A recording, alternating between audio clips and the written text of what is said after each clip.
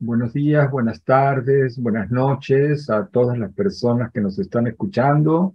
Según el lugar del planeta en el que se encuentren, será la hora del día. Para nosotras y nosotros, integrantes de la Cátedra UNESCO Educación Superior y Pueblos Indígenas y Afrodescendientes en América Latina, es verdaderamente muy agradable y muy importante saber que en este momento hay gente fuera de este pequeño espacio de la sala de Zoom en la que estamos, que está siguiendo esta presentación. La sesión de hoy es la primera sesión de las cuatro sesiones de la muestra final de la tercera campaña para la erradicación del racismo en la educación superior en América Latina, eh, que estamos eh, presentando. Nos acompañan acá en la sala mm, integrantes de nuestro equipo, del equipo de la campaña, y también integrantes de los equipos de las universidades que hoy van a presentar. En un momento voy a hacer referencia a quienes nos acompañan. Antes quisiera enfatizar algo que me parece importante para la ocasión, y es que el racismo es una ideología y un régimen de poder que es constitutivo del mundo moderno y es causa de inequidades y desigualdades en las sociedades contemporáneas que limitan fuertemente, sino que desvirtúan directamente cualquier idea de democracia. A lo largo de la historia, las instituciones y los sistemas de educación superior han jugado papeles muy importantes, significativos, en la naturalización y reproducción del racismo. Y continúan jugándolo hoy en día. Pero también podrían jugarlo en su erradicación, porque en ella se forman profesionales en los más diversos campos que luego participan de manera muy significativa en la toma de decisiones en nuestras sociedades o en la puesta en práctica de, de decisiones y de políticas. Por eso nuestra cátedra UNESCO, la cátedra UNESCO Educación Superior y Pueblos Indígenas y Afrodescendientes en América Latina, con el apoyo de nuestra universidad base, que es la Universidad Nacional de 3 de Febrero, así como con el apoyo de la Unión de Universidades de América Latina y el Caribe y del Instituto Internacional de la UNESCO para la Educación Superior en América Latina y el Caribe, hemos lanzado en el año 2018 la iniciativa para la erradicación del racismo en la educación superior. En 2020, en el marco de esta iniciativa, desarrollamos la primera campaña para la erradicación del racismo, en el 2021 la segunda, y ahora en el 2022 la tercera, que en principio va a ser la última por ahora. No porque el racismo se haya acabado o hayamos logrado erradicarlos, sino porque tenemos otras estrategias de trabajo para el año venidero. Hoy entonces, en esta primera sesión, vamos a ver el trabajo desarrollado por uno de los grupos de trabajo de esta tercera campaña. tenemos más de 20 universidades participando en esto y hemos organizado el trabajo en cuatro grupos de trabajo con integrantes de nuestro propio equipo de trabajo.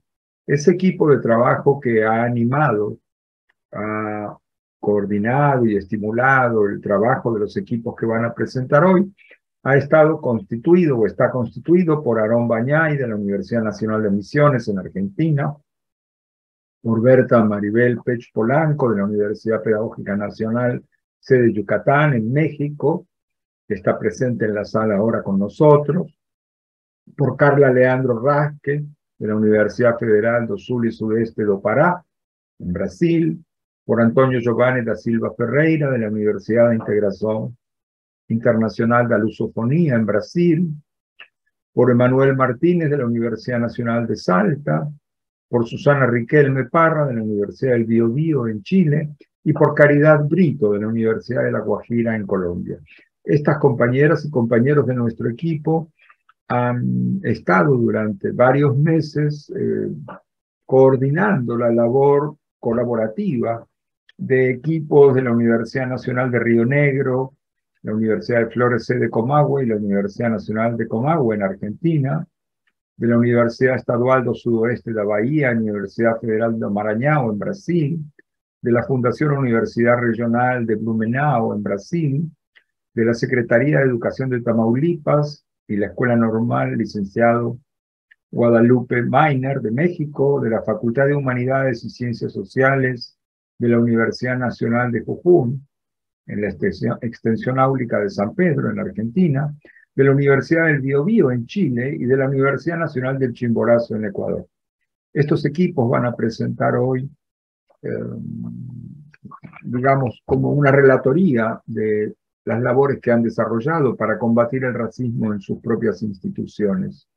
Voy a dar la palabra a las y los integrantes de nuestro equipo para que se encarguen de coordinar el resto de la sesión pero antes quisiera presentar también a Victoria Beiras, que es la coordinadora ejecutiva de nuestra cátedra UNESCO y que ha jugado un papel importantísimo en la coordinación entre todos los equipos. Entonces, sin más, muchísimas gracias a todas las personas que nos están acompañando. Muchísimas gracias a la gente de nuestro equipo que ha hecho posible toda esta labor y desde luego a los equipos que han acogido nuestra convocatoria y que han desarrollado tan importantes trabajos. Muchísimas gracias. Por favor, Berta o Carla, la palabra es vuestra. Claro. Buena tarde a todas, todos eh, los equipos. La verdad es que eh, para mí es el, mi participación en la tercera campaña y me parece que siempre estos momentos son también muy emotivos porque vemos pues, todo lo que ustedes han venido trabajando durante eh, este proceso ¿no? de las acciones. Entonces, igual agradecerle a Carla, a Caridad, a Aarón, que siempre estuvimos ahí también eh, con ustedes de alguna manera, eh, con todos los retos y los desafíos que nos han planteado estos tiempos, pero pues yo también muy agradecida por, por ese compartir de, de ellas y de, y de Aarón también, quienes de alguna forma estuvimos acompañándonos también como ese pequeño grupo de trabajo.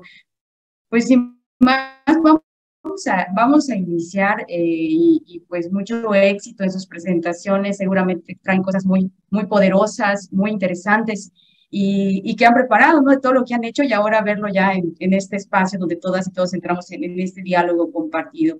Entonces vamos a iniciar con el primer equipo. Recuerden que tienen 15 minutos para su presentación. De todas formas, aquí estaremos de alguna manera eh, acompañando esa presentación por esta cuestión de, tiempo si se llegaran a, a, ir un poquito más. Pero intentemos ser justamente exactos con los 15 minutos. Entonces, vamos con la Universidad de eh, UNCO, 50 aniversario, de Universidad para los Habitantes del Guaymapu en el siglo XXI, en Argentina. Entonces, adelante el, el, el equipo con, con su presentación.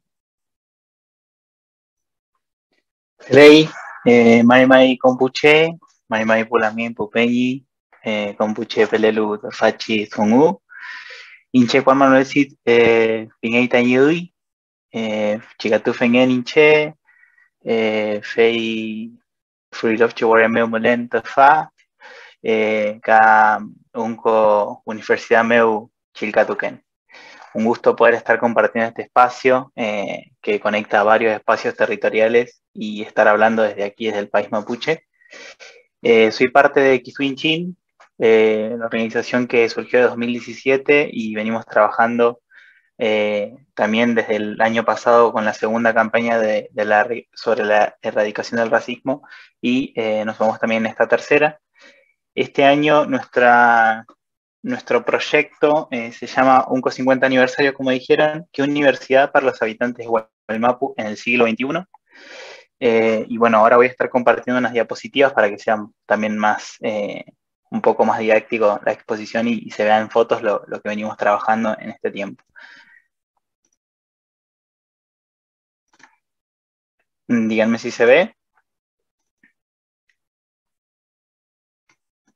¿Se ve bien? Mm, ahora sí. Bien.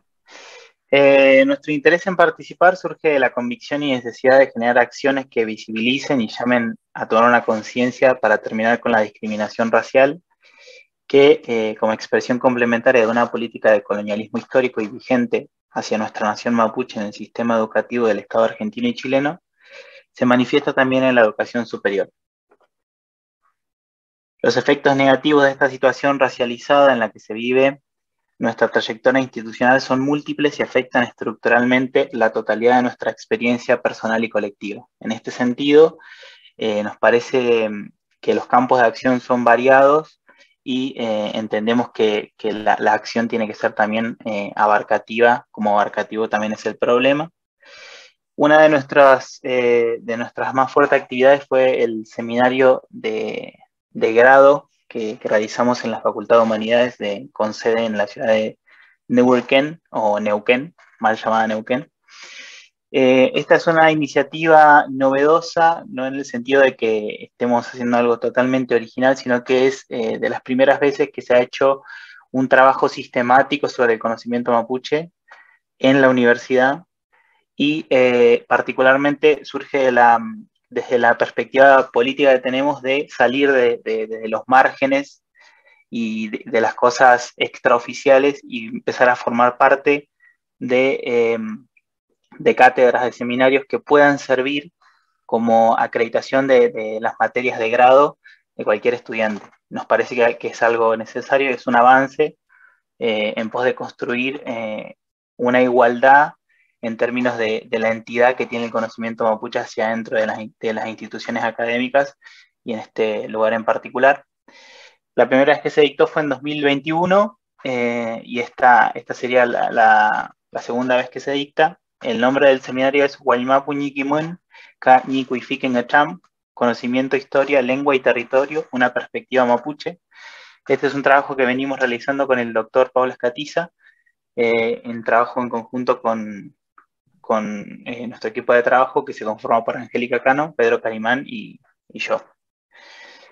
Em, es un trabajo que ahí se, ve en las, en las fotos, que tiene una, gran masividad y para hacer un seminario de grado, que estamos acostumbrados a, que sean tres, cuatro personas las que hacen ese tipo de seminarios, seminarios de, que tengan participación de más de 80 personas, a veces más de 60, es algo que llama la atención y eh, denota la necesidad que hay de, visibilizar y seguir potenciando estos espacios de, trabajo y de visibilización del, conocimiento mapuche, como dije. Eh, otra de las actividades que hicimos fue la participación en una comisión ad hoc conformada en el ámbito de la Facultad de Lenguas para tratar eh, la oficialización del mapuzungún como lengua de enseñanza y aprendizaje institucionalizada al interior de la UNCO. Esta comisión fue conformada por, eh, por el claustro docente, estudiantil, no docente, graduados e invitados especiales, y al término de, este trabajo se realizó una presentación formal al, eh, al, Consejo Directivo de la Facultad de Lenguas eh, como un proyecto de, incluir a, con un estatus de cooficialidad de, de, la lengua mapuche hacia el interior de la universidad. Esto es un trabajo que, que lleva eh, un largo plazo, tanto en, como en, en, lo que es la trayectoria que pasó antes de la comisión y lo que viene para después, pero es un, es un hito relevante eh, y forma parte de las actividades que realizamos.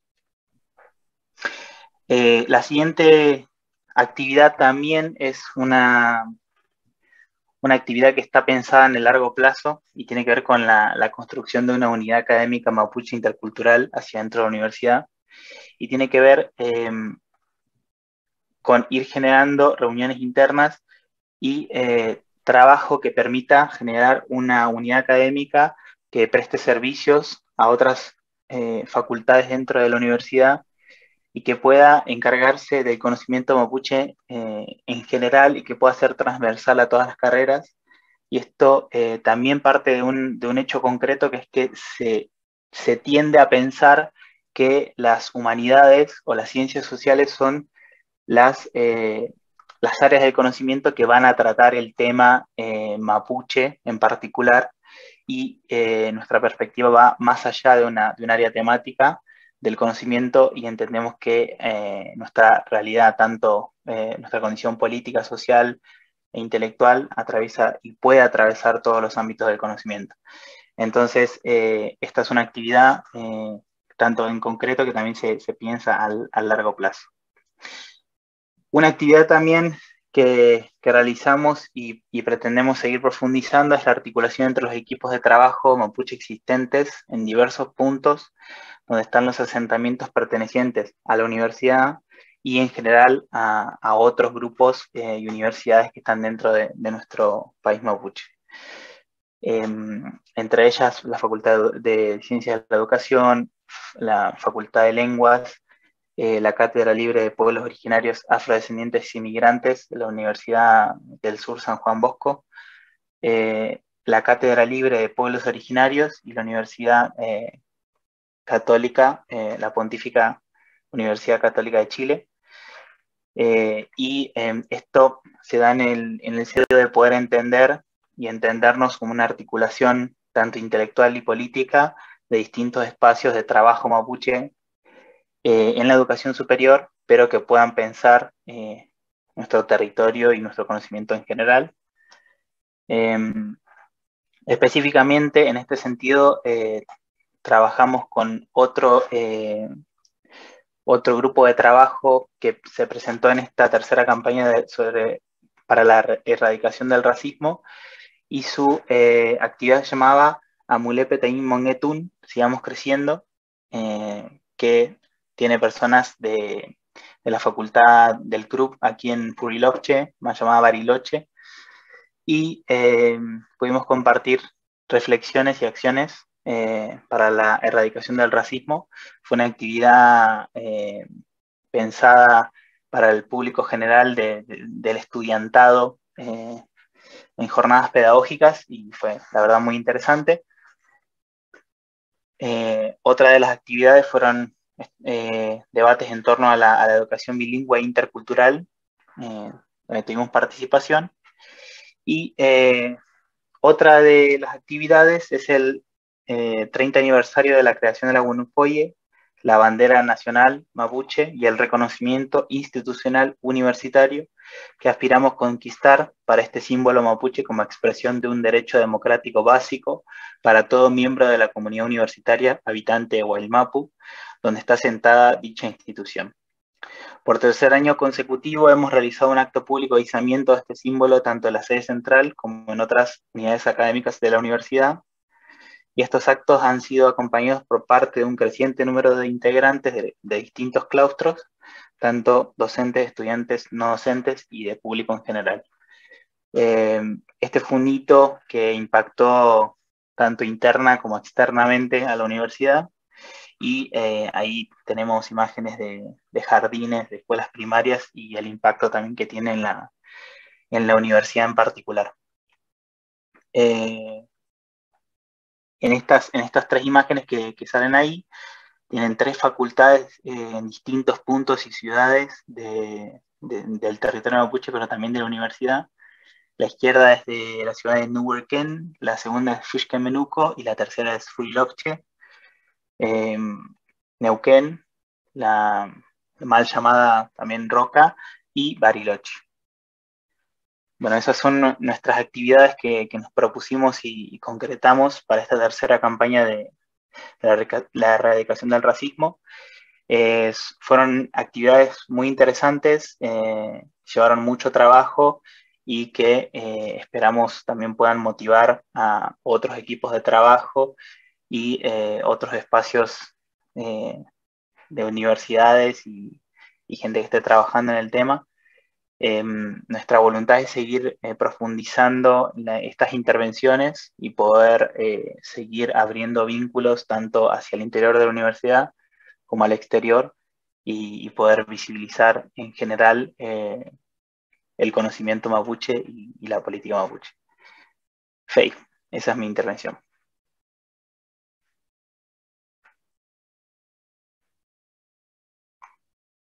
Muchas gracias, Omar. Muchas gracias por compartirnos esto que viene realizando y algo muy bonito, estas articulaciones que, que busquemos también ir fortaleciendo. Muchísimas gracias. Vamos a, a, continuación con el, en el siguiente equipo, que es el de la segunda jornada del combate al racismo en la educación superior, estudiantes indígenas y afrodescendientes se realizó por el equipo de Brasil. Entonces, adelante.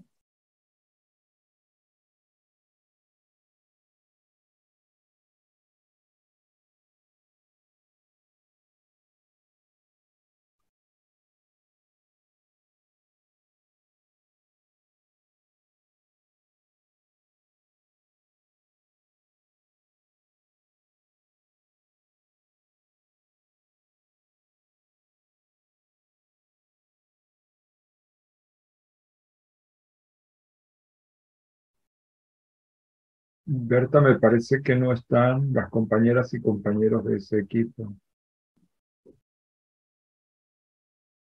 Propongo seguir con el siguiente equipo.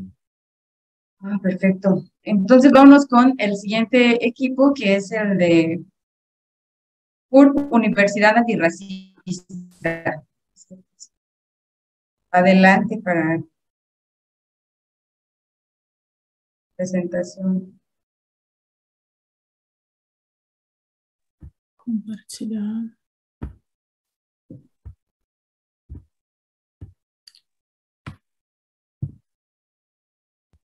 Está uh, aparecendo?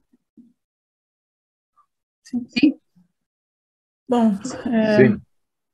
então, é, eu sou a Alina, a coordenadora do projeto na FURB, é, na Universidade Regional de Blumenau. É, em Santa, em Santa Catarina, no Brasil. É, bom, as atividades que, antes de mais nada, né, o projeto teve como objetivo sensibilizar a, a comunidade acadêmica, é, formar servidores, docentes, técnicos, uh, técnicos administrativos e discentes, é, ampliar a interlocução da FURB com a sociedade e mobilizar a comunidade acadêmica. Essa, essas foram, esses foram os objetivos do projeto e que a gente, é, com as atividades que a gente realizou, a gente, num certo sentido, conseguiu alcançar, né? É, esses objetivos foram alcançados focando em quatro eixos né, de, de, discussão e reflexão a respeito das questões uh, do racismo. É, salientando que a gente está numa região de colonização alemã aqui no Brasil em que a gente tem vários uh, casos de racismo, inclusive acontecendo na universidade, né, que eu vou relatar depois que a cátedra atuou, inclusive nesse sentido. Mas os eixos pós-graduação, a gente pensar nas questões étnico-raciais no contexto da pós-graduação, em termos de inclusão mesmo, né, é, a formação de docentes e técnicos administrativos da instituição, em como lidar com questões de racismo, mas também conseguir identificar essas questões é, no ambiente da instituição, é, formação ou acolhimento de discentes racializados, né, uh, afrodescendentes e indígenas, e uh, a gente promoveu uh, eventos para a comunidade, seja acadêmica, seja comunidade em geral. Né. Então, o evento da pós-graduação foi o que a gente denominou de círculo de diálogo, discutindo as questões étnico-raciais na pós-graduação, sujeitos e objetos de pesquisa. É, chamamos professores, né, docentes e discentes para uh, refletir a respeito dessas questões, não só como uh, assumindo esse tema, como uh, objetos de pesquisa, né? Mas para refletir é, para além disso, em termos de inclusão, é, quantos estudantes temos, estudantes racializados, uh, na pós-graduação? Como esses estudantes são acolhidos? Né? É, uh, como se sentem nesse contexto? E qual o movimento dos docentes é, para além do, uh, do processo de pesquisa, vamos dizer assim, com relação ao tema? Então, isso foi debatido durante uma tarde na instituição, foi muito rico. É, a gente tem as fotos, tem os registros, mas aqui para ser mais rápido, eu, eu trouxe só os, os, materiais de divulgação. Né? E a partir desse uh, encontro, a gente buscou pensar em algumas políticas de inclusão de estudantes negros e indígenas uh, na pós-graduação da instituição. Esse foi o primeiro evento. É, a segunda atividade, na verdade, ocorreu uma sequência aí de, de encontros, que foi a formação de docentes e técnicos administrativos da FURB. Essa formação a gente já tinha programado, é, mas é, ocorreu e foi e houve uma grande procura né, por docente, uh, da parte de docentes e técnicos administrativos, porque, como eu falei, ocorreu um caso durante esse período de racismo na instituição e que uh, as pessoas não, não estavam sabendo muito como, como lidar. Então, essa formação de docentes e técnicos administrativos foi mesmo para a gente trabalhar os conceitos mais básicos com relação ao racismo, né? Uh, os conceitos de raça e racismo, racismo estrutural, racismo institucional, discriminação, e a partir dessa formação teórica, pensar em alternativas de atuação dentro da instituição. Né? Uh, então, essa foi uma outra atividade, porque é, esse tema do racismo é, muitas vezes é, é invisibilizado né, dentro das instituições. Falar disso é como se a gente estivesse falando de uma coisa que não existe mais. E existe, está presente, é atual, e, e as pessoas, uh, inclusive, uh, estavam muito mobilizadas em função do que estava acontecendo na universidade. Né? A gente tinha é, proposto essa atividade antes do acontecimento, foi em agosto, uh, que a gente propôs isso né, dentro do projeto e aconteceu esse caso em outubro. Então, foi uma, uma procura, foi uma reflexão, enfim, foi, foi positivo isso. Né?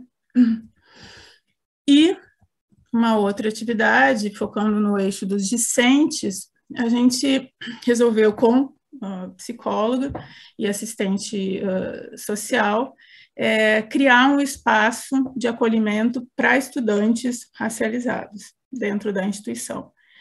Para os estudantes é, foram alguns encontros, né? Uh, mas para os estudantes se sentirem à vontade e colocarem as suas experiências dentro da instituição. Né? E foi, foi um momento muito é, forte, eu diria assim, é, foi rico nesse, nesse sentido, mas assim, é, revelou que, que é necessário esse espaço, porque tem uma outra instituição que a gente não, não enxerga, né? Tem sentimentos, tem, tem estudantes que não se sentem acolhidos dentro da instituição, então essa atividade ela foi muito importante para a gente conseguir enxergar isso é, e ver os docentes é, inclusive há mais docentes do que a gente imagina, né, de origem indígena e afrodescendente, e que muitas vezes estão invisibilizados dentro da instituição e sofrendo é, casos de racismo. Então, a nossa uh, atividade, ela se voltou para isso, para a gente conhecer mesmo a instituição e cuidar e, e, pensar em alternativas de acolhimento e cuidado desses estudantes, porque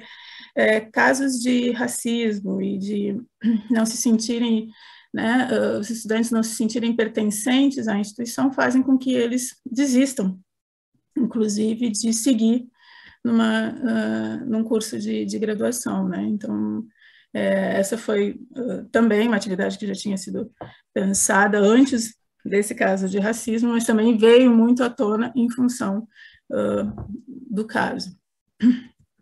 E nosso último eixo foi aí sim promover é, esse é um, um evento cultural e um evento científico. Esse evento cultural foi uma exposição negra Blumenau, é, como eu falei, Blumenau tem colonização alemã, e uma narrativa muito forte de que não existem pessoas negras na cidade, nascidas e criadas na cidade. Então, essa exposição, que uh, se deu a partir de fotos tiradas pela Rafaela Martins e uh, foi originada de uma, de uma reportagem da jornalista Magali Moser a respeito dessa narrativa de que não existem pessoas negras em Blumenau. A gente selecionou algumas fotos e uh, procuramos dar visibilidade né, a, a essa, a uma outra narrativa com relação a, a cidade uh, e o ambiente em que a gente se encontra, e o ambiente em que se encontra a universidade uh, de Blumenau.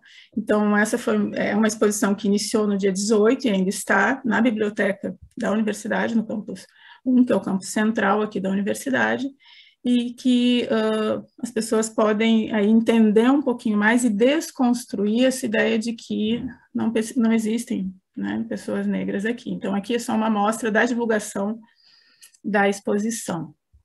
Então, aqui a gente utilizou essas três fotos, né? Deixa eu passar aqui, mas é uma exposição com mais de 10 fotos de pessoas é, nascidas e criadas aqui em Blumenau. Né? E um outro evento, foi o nosso último evento, que está pequeno, mas eu vou é, mencionar ali o que, que foi colocado, foi um seminário que aconteceu agora, nessa semana, uh, na segunda e na terça-feira. É, esse seminário Ética Socioambiental, Povos Tradicionais e Desenvolvimento, reflexões sobre raça, gênero e relações com não-humanos. Então, uh, no dia 21, na segunda-feira, a gente teve uma mesa redonda uh, com três convidados. É, uma das falas era com relação à questão racial mesmo, né, é, de gênero e racial, a situação das mulheres negras é, com relação às questões territoriais, né. Uh, uma segunda fala foi também é, falando a respeito da questão de gênero das mulheres, mas dentro de uma perspectiva do ecofeminismo, relacionando a questões de ambiente, da terra, do território, enfim. E uma terceira fala desse dia 21 foi uh, a contribuição, vamos dizer assim, uh, da ecologia decolonial para a ética socioambiental. Né? Uh, reflexão também a respeito do, do, ambiente, mas de uma outra relação com a terra a partir dos povos tradicionais, enfim. E no dia 22 a gente teve é, uma, uma roda de conversa, né, com ciposeiros e, e quilombolas, né, pra, e, e, uma oficina, na verdade, em que eles uh, apresentaram uh, os seus trabalhos, a sua arte, enfim.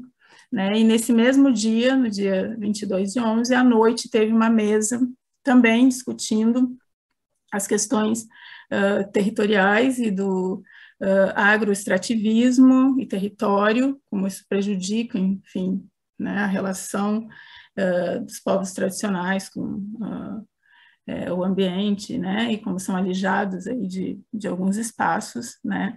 Uh, houve uma outra fala com relação aos povos tradicionais, sobretudo os quilombolas aqui da região, né, e uma terceira fala relacionada também aos povos tradicionais, quilombolas e indígenas, é, e a relação com o ambiente, também tudo aqui da nossa região.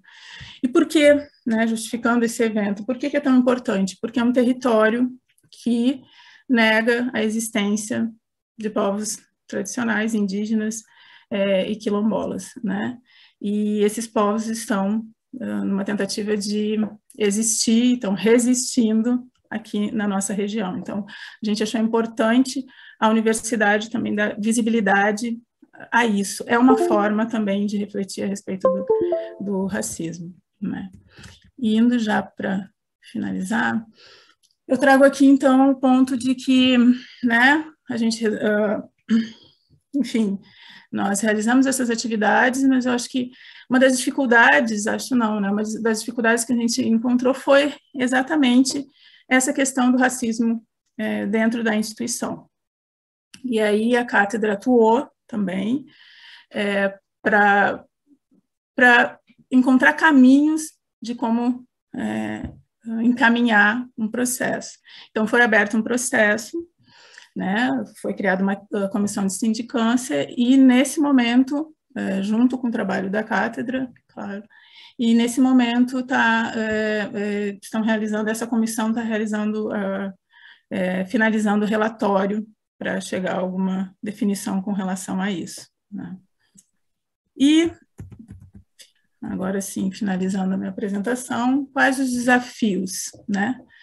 Manutenção de algumas ações que a gente iniciou agora com o trabalho da cátedra, sobretudo a de formação de uh, professores técnicos administrativos, por uma, uma solicitação, inclusive, né, dos professores, dos docentes e dos técnicos administrativos, porque um número né, é, fechado de encontros não resolve a situação. Essa formação tem que ser constante. Então, a ideia é essa, é, e criar políticas institucionais para que isso é, se mantenha, né? Não só a questão da formação dos professores, mas o acolhimento aos estudantes. Isso é algo que tem que ser permanente. Então, é, a instituição já criou uma comissão de diversidade e inclusão, e, e a gente vai começar os trabalhos para, uh, uh, enfim, criar determinadas políticas institucionais para a gente conseguir lidar com as questões do racismo, que é algo muito presente aqui na região, é muito presente aqui na instituição, e que, uh, enfim, iniciou, eu acho que esse trabalho da cátedra deu um pontapé aí inicial, para que a gente comece né, a tentar né, diminuir isso de alguma forma, né? Acabar com isso totalmente, bom, talvez seja né, uma, utópico, mas a gente está trabalhando para isso. É, e o trabalho da cátedra foi fundamental. Era isso. Obrigada.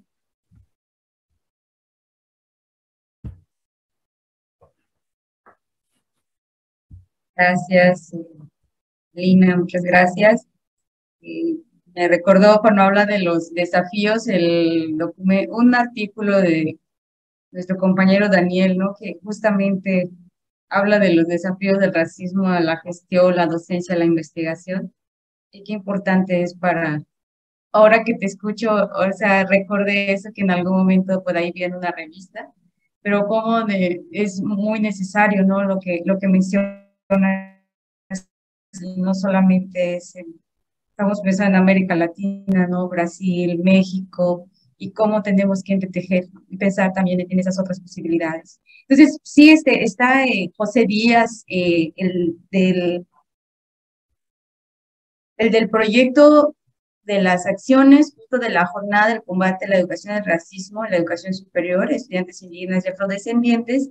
Entonces, no sé si, si puedes compartir, José.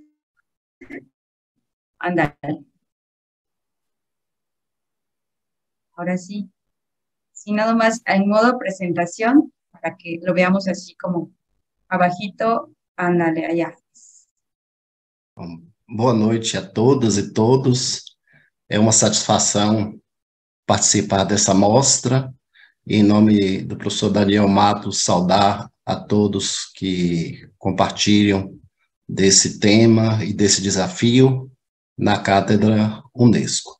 Eu vou fazer a apresentação da segunda jornada de combate ao racismo no ensino superior, que é, foi uma atividade que nós desenvolvemos juntos à Universidade Estadual do Sudoeste da Bahia e à Universidade Federal do Maranhão.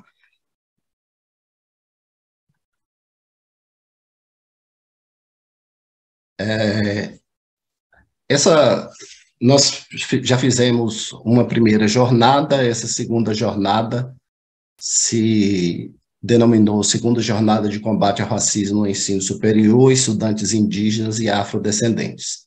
Ela foi realizada entre os dias 14 e 16 de setembro deste ano 2022. É, nessa atividade da segunda jornada, é, estiveram participando integrantes da Universidade Federal do Maranhão, que é aqui no Brasil, e da Universidade Estadual do Sudoeste da Bahia. É, a, todo o evento foi feito no formato virtual, como eu disse, nesses dois dias, de 14 a é, 16 de setembro, e foi transmitido ao vivo nos canais do YouTube do Programa de Pós-Graduação em Cultura e Sociedade, o PGCUT, e o ESB Eventos Virtuais. Uh, para participar do evento, nós convidamos também pessoas que de vários estados do Brasil entre eles é, o estado da Bahia, do Maranhão, de Minas Gerais, Pará e um professor de Angola na África. A programação ela foi composta de duas mesas de debates e três rodas de conversa, incluiu a exibição de vídeos produzidos pela Cátedra Unesco e relatos de estudantes indígenas e negros sobre o tema do racismo institucional. Nessa atividade, nós contamos também com lideranças e representações dos povos Krenak, Capó, Curambaquiri, um artista indígena, além de coordenadores da licenciatura intercultural da educação básica indígena, da UEMA, no Brasil, e de movimentos sociais quilombolas na Bahia. É, neste evento, nós tivemos 90 pessoas inscritas e a transmissão nos canais do YouTube já obteve mais de 600 visualizações. Isso para nós é importante porque várias outras pessoas replicaram os vídeos e o tema é, está alcançando o maior número de pessoas.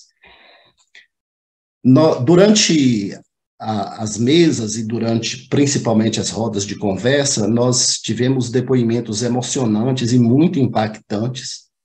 Esses depoimentos é, denunciavam a prática de racismo nas instituições de ensino superior no Brasil, que persistem ainda de forma velada ou, às vezes, de forma ostensiva. E e essas denúncias, elas têm sido importantes para mobilizar as instituições no sentido de combater o racismo no ensino superior. E algumas dessas iniciativas incluem, por exemplo, é, a criação de pró-reitorias específicas para dentro da estrutura acadêmica, a, a criação de cursos de licenciatura para a formação de educadores indígenas e quilombolas, e eventos com protagonismo de artistas indígenas e negros, além do aumento de cotas para ingresso nos concursos públicos e nos cursos de pós-graduação no país. A segunda jornada deu continuidade a uma discussão que nós já havíamos iniciado dois anos atrás, também no formato online, e naquele momento, participando é, juntamente à Universidade Federal do Maranhão e ao ESB, fizemos diálogo com outros estados do, do Brasil e também com outros países da América Latina, e nessa segunda edição nós ampliamos também para um contato com um dos países africanos. Essa foi a constituição da mesa de abertura, que contou com pessoas que participam da, da administração das duas universidades, é, também a participação do, do Centro de Ciências Humanas da UFBA, os coordenador, o coordenador e a coordenadora dos programas de pós-graduação. É, essa aí é a professora Isabel Ibar da UFMA, a professora Adriana Amorim, da UESB, o professor Luciano Façanha, da UFMA, professor Flávio Luiz, professora Lucimara Berton. Depois nós tivemos uma mesa redonda, desafios e perspectivas de resistência dos povos indígenas e comunidades tradicionais no Brasil, que não por acaso foi também o tema de redação do Enem deste ano, da prova do Enem deste ano, e também isso demonstra como esse tema tem sido debatido, como tem sido importante. Na ocasião, participaram o professor Carlos Benedito, a professora Isabel Talcani, a professora Núbia Regina, e nós fizemos um debate muito profícuo nesse dia. É, na primeira roda de conversa, chamada Educação, Sustentabilidade e Proteção Territorial, participaram é, o artista indígena e historiador Gilvandro Oliveira, também Oliveira Adão, que é professor e também é aluno do programa de pós-graduação da UESB, e nós tivemos a participação importante do cacique Krenak, eh, melhor, do cacique Capó. E essas imagens nos foram autorizadas a, a serem publicadas aqui, é, da aldeia Capó, no Maranhão.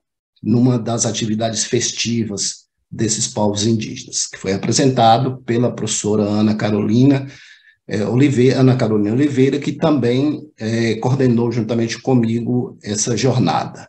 Na segunda jornada, nós tivemos, é, ou melhor, a, logo em seguida, nós tivemos a roda de conversa Experiências e Perspectivas Indígenas na Universidade, e naquela ocasião nós contamos com a participação de Vander Lúcia, que é bolsista do projeto e é também aluna é, graduanda do curso de História da UESB.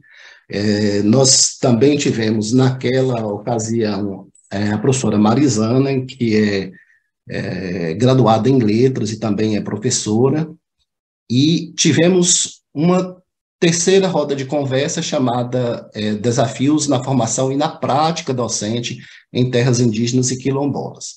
Tivemos a participação da Ludmila Krenak, que também é, é, é, é professora ordem indígena, o, o Ângelo Caimbé, que também é, é professor, e a professora Marivânia. Na ocasião dessa apresentação dela, é, foi importante debater a formação de professores para a educação básica indígena e também em quilombos. Na mesa de encerramento, nós é, debatemos as estratégias de combate ao racismo contra indígenas e afrodescendentes no ensino superior. Tivemos a participação da professora Larissa Menendes e tivemos a participação da professora Deise Damasceno. E foi um encerramento também é, muito profícuo e muito interessante, tendo em vista os desafios que nós temos hoje. Essa é a equipe que executou essa atividade da segunda jornada, é, realizada com a, realizada pela Cátedra Unesco e com o apoio da Universidade Estadual do Sudeste da Bahia, com apoio do Programa de Pós-Graduação Memória, Linguagem e Sociedade e do PGCUT. É isso. Muito obrigado.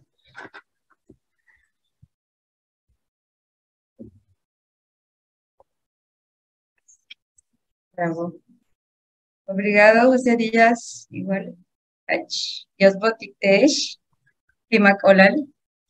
Pues muy agradecida por sus presentaciones, por su compartir. Ahora este, le toco corresponde a mi compañera Carla Leandro seguir con, con esta jornada de, de intercambio. Eh, Dios botictesh, achkimak olal titulak lalesh, eh, achkimak ingolintak bajalte Estoy muy contenta, muchísimas gracias, muy agradecida con los equipos, muchísimas felicidades y, y aquí se, seguiremos escuchando. Muchas gracias.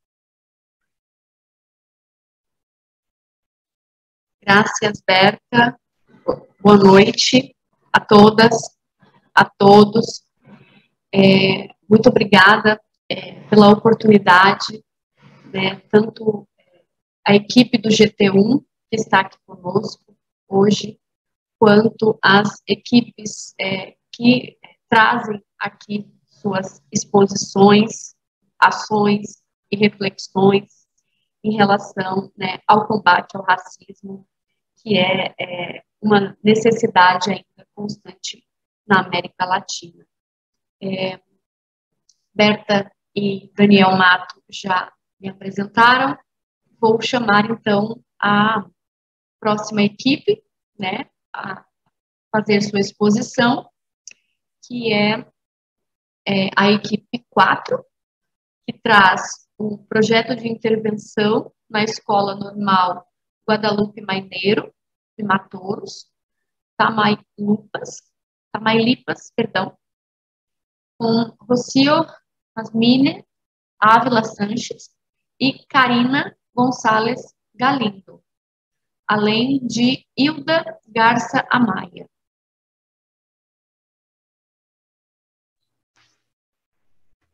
Muchas gracias por la presentación. Muchas gracias a todos los miembros de esta tercera campaña para la erradicación del racismo en la educación superior Queremos agradecer esta oportunidad porque nos permite no solo compartirles lo que nosotros hemos encontrado, los hallazgos que nos enriquecen tanto a lo largo de estos meses, sino multiplicar los saberes al escucharlos a ustedes y hacer una suma de, todos los, los episodios y de todas las experiencias surgidas. Muchas gracias a nombre de mis compañeras que ya hablarán en unos momentos también. Gracias a nombre de las autoridades de la Secretaría de Educación, de la Escuela Normal, de las alumnas, de los alumnos y pues aprovecho para hacer también un reconocimiento a los colaboradores que desde distintas instancias sumaron a este proyecto. Eh, vamos a empezar por compartirles un muy breve video donde sintetizamos algunas de las actividades que realizamos en el taller. Después, eh, mi compañera Karina les platicará el cómo surgió el proyecto, por qué la normal, por qué Tamaulipas. Hilda después nos platicará un poco de cómo está estructurado, de cuál fue el enfoque pedagógico que tuvimos para este taller y bueno, finalmente eh, regreso yo para compartirles un poco la perspectiva hacia dónde vamos o, dónde queremos enfocar este proyecto. Entonces, empezaríamos por el video.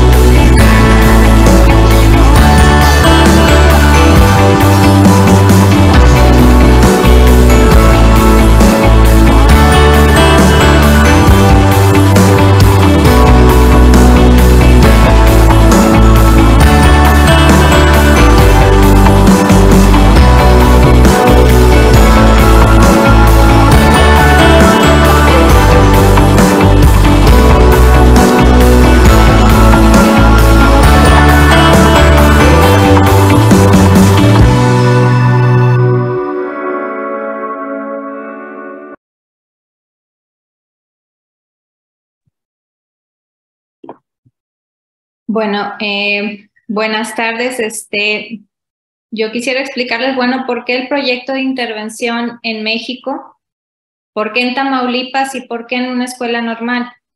Bueno, pues México es un país que tiene una considerable afluencia migrante. Tamaulipas se encuentra ubicado en el noreste de la República Mexicana y por su proximidad a los Estados Unidos de América es un estado que posee un gran flujo migratorio.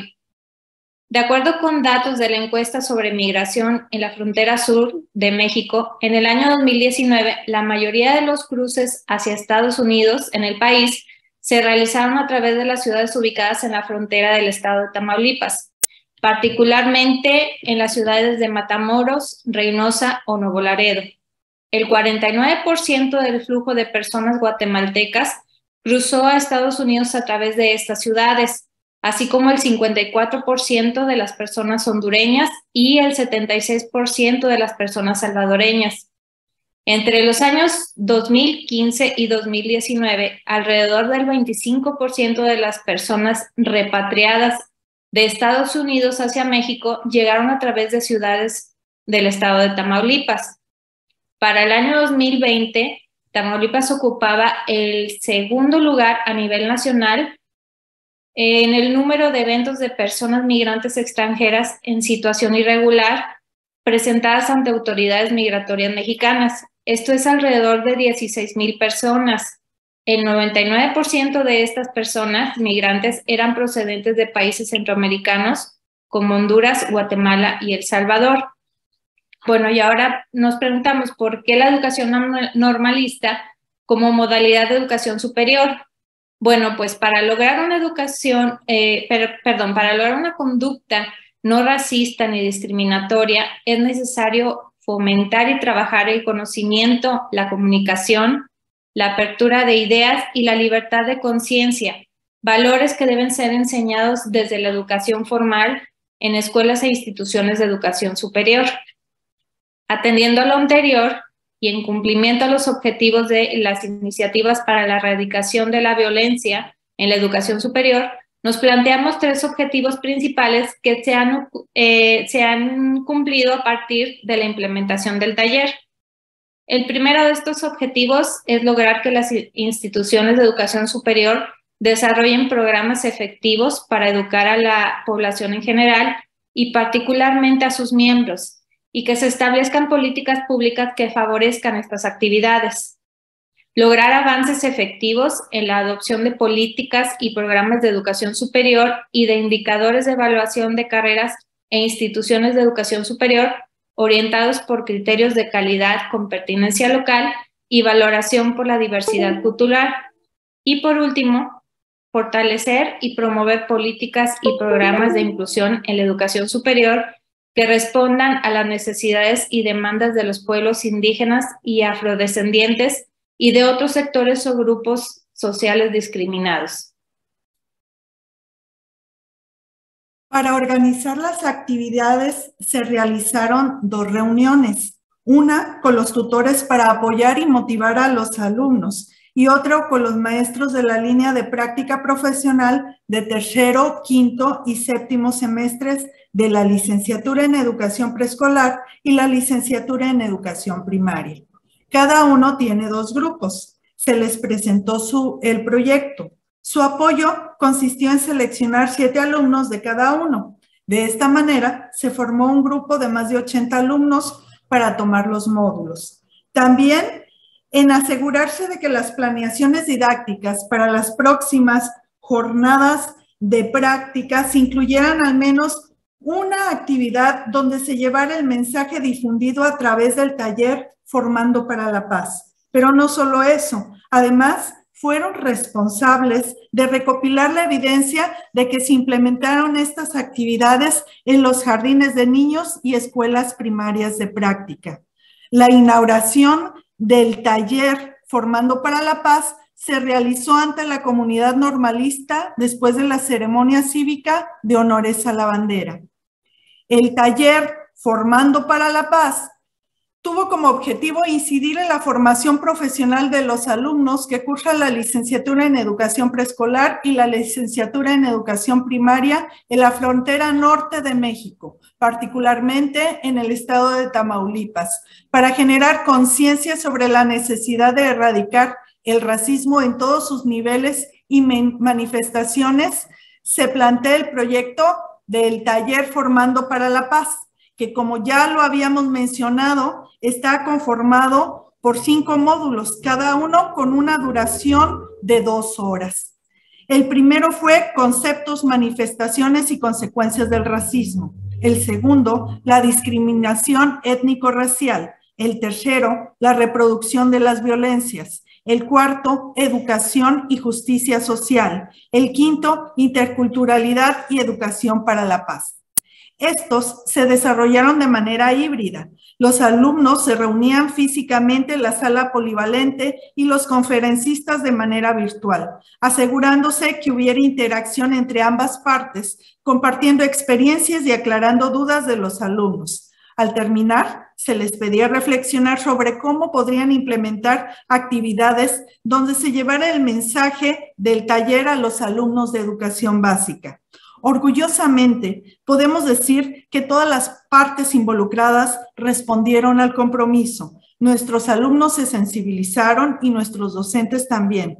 Se diseñaron e implementaron actividades adecuadas a los niveles educativos con los que practican y en las evidencias tuvimos videos cortos, trípticos, clases, periódicos murales, carteles, actividades académicas y deportivas inclusivas. También pintaron murales en escuelas de práctica, entre otros, como pudimos observar en el video.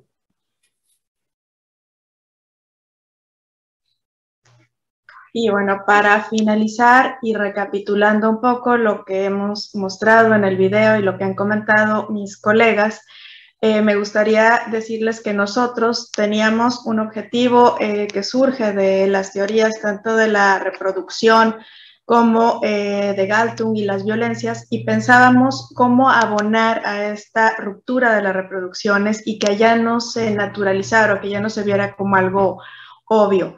La mayoría de las teorías en este sentido, tanto las pedagógicas como las que están inspiradas en la sociología, nos hablan de que los primeros años de la infancia son determinantes.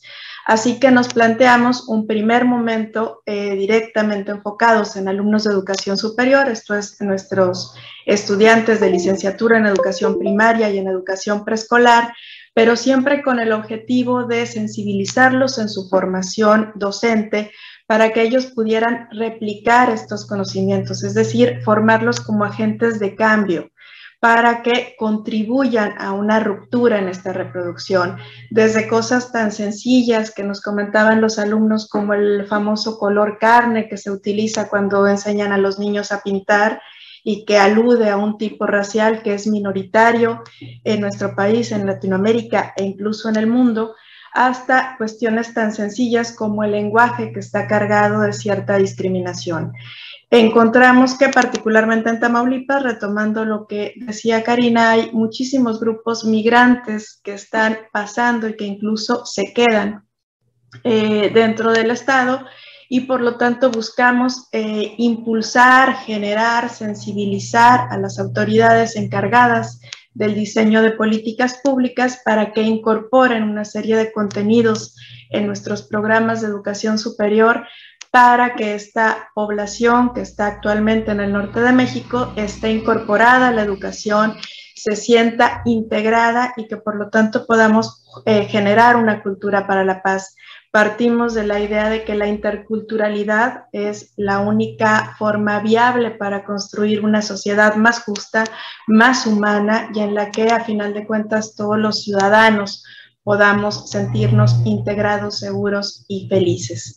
Entonces, esta es un poco la concepción que nos llevó a generar este proyecto en el cual eh, pensamos seguir trabajando, lo vemos a futuro y, y pensamos continuar con él. Eh, seria todo por nossa parte. Muitas graças. Obrigada à equipe do México. Né? É, a abordagem da ação foi muito, muito importante, pensando as licenciaturas, articulação com a educação básica, né? e também é, diferentes dimensões do combate à violência e ao racismo é, no ensino superior e também nesse diálogo né, com a educação básica.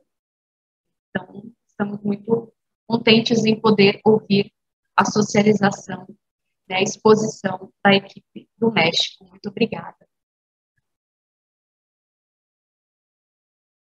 Agora, nós temos uma outra equipe, a equipe 5 desta noite de hoje, é, amarronando paredes, interpelações antirracistas em aulas e pasillos de la expansión académica San Pedro, com expositores Luiz Aguayo Barrios e Romina Argote, da Universidade Nacional de Jujuy, São Pedro, Argentina.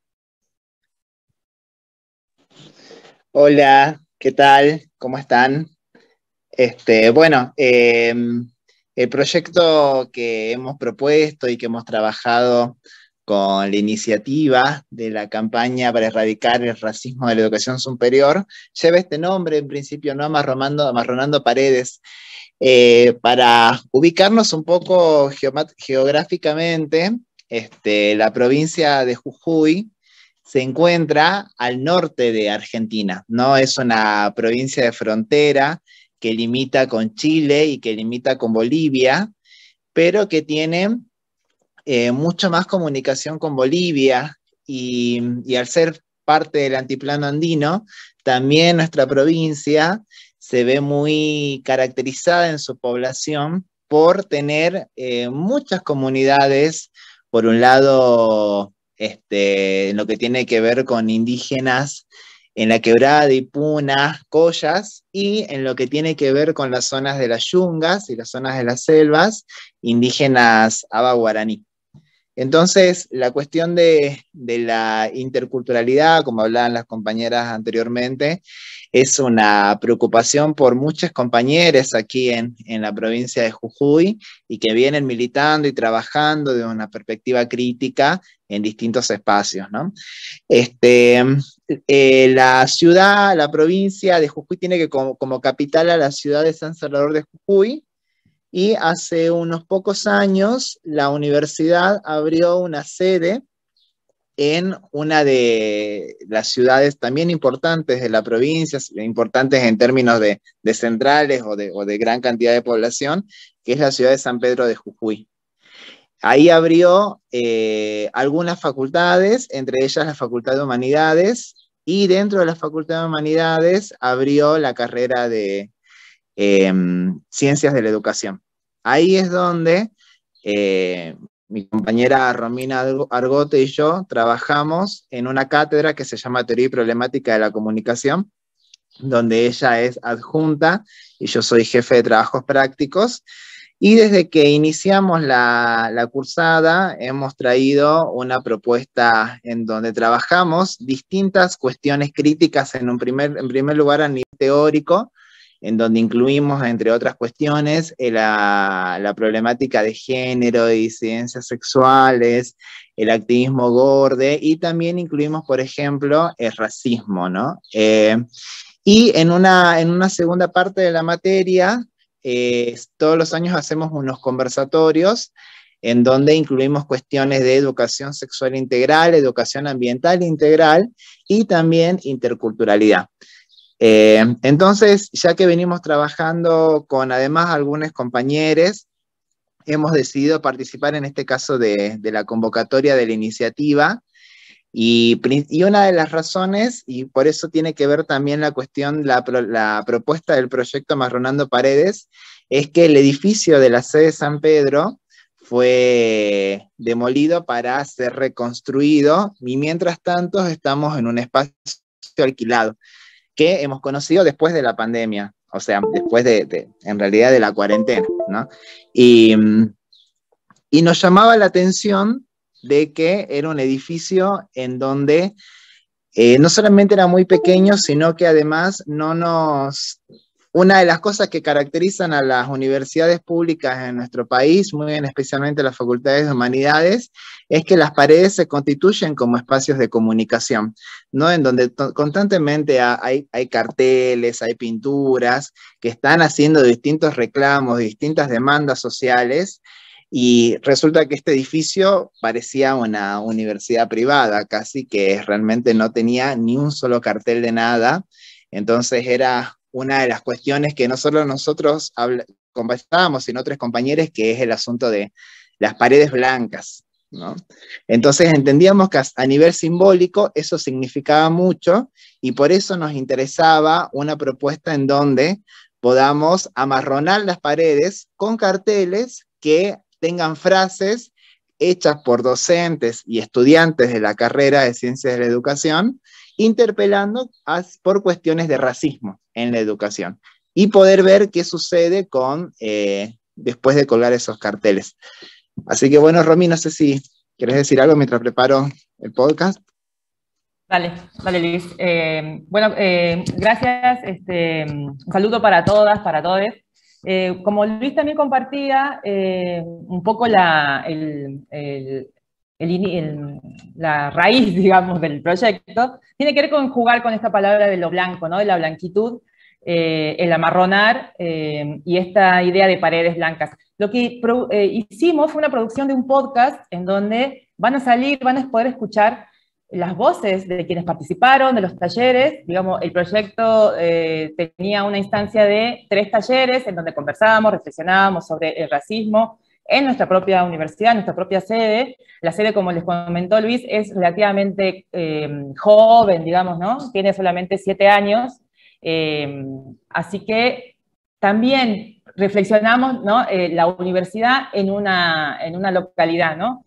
todavía no, no tiene fuerza, no tiene presencia, ¿no? Eh, todavía parece algo lejana eh, la universidad para la localidad. Así que eso también van a poder escuchar en los, en los relatos. Dura cinco minutos, ¿no? Es una, una realización corta de un podcast. A ver, así que después lo conversamos un poquito más y ya estaríamos cerrando también. Bueno, ahí eh, doy, doy play me dicen por favor si se escucha.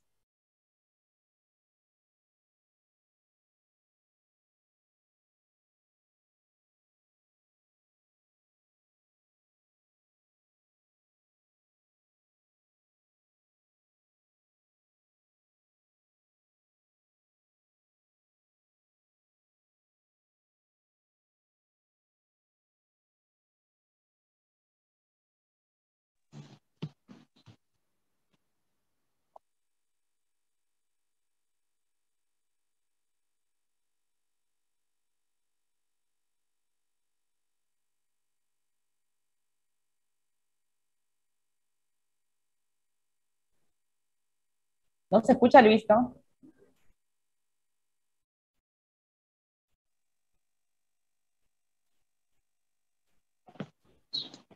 ¿No se escucha? Mm.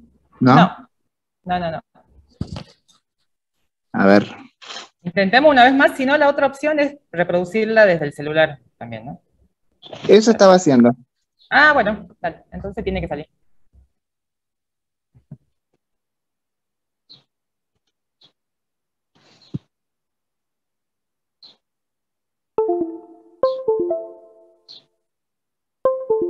Ahora parece que sí.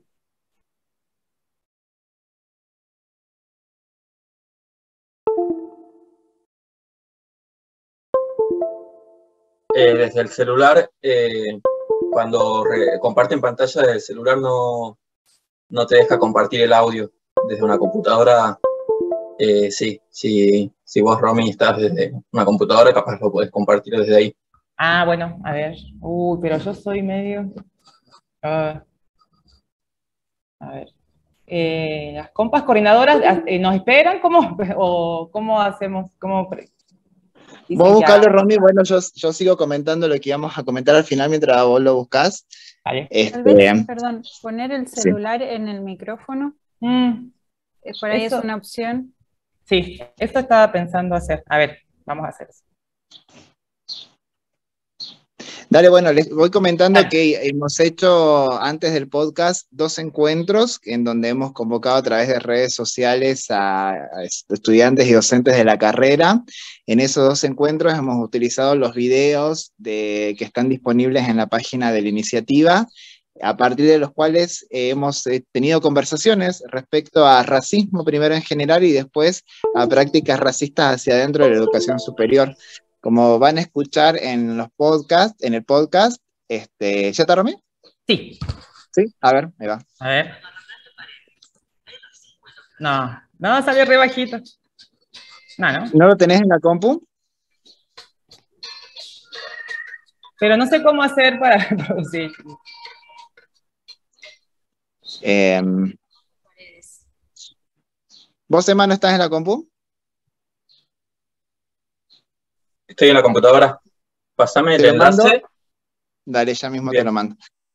Eh, bueno, entonces sigo, sigo diciendo que hicimos dos encuentros en donde hemos hablado de racismo y uno de los elementos comunes ha sido que nuestros estudiantes eh, llegaron a los talleres pensando de que, eh, que el racismo no era una problemática de nuestra universidad, ¿no? que no era algo que pasaba en nuestra facultad, que pasaba en otros lugares quizás, pero no podían identificarlo.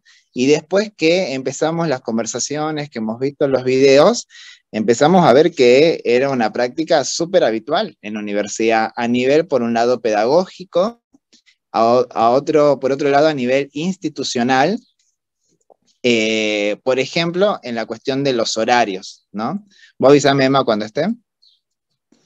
Este, en la cuestión de los horarios, porque, por ejemplo, hay compañeros que viven en los lotes, que son espacios que están, no están en la misma ciudad de San Pedro de Jujuy, sino que están un poco más distantes, en donde los horarios para llegar a esos lugares, donde también son habitados por eh, descendientes de comunidades indígenas, eh, no tienen transporte hasta el horario donde finalizan las, las cursadas de la facultad.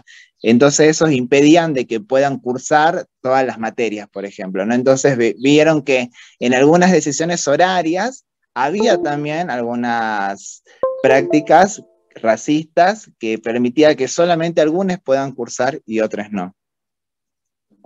¿Estamos, Emma? ¿O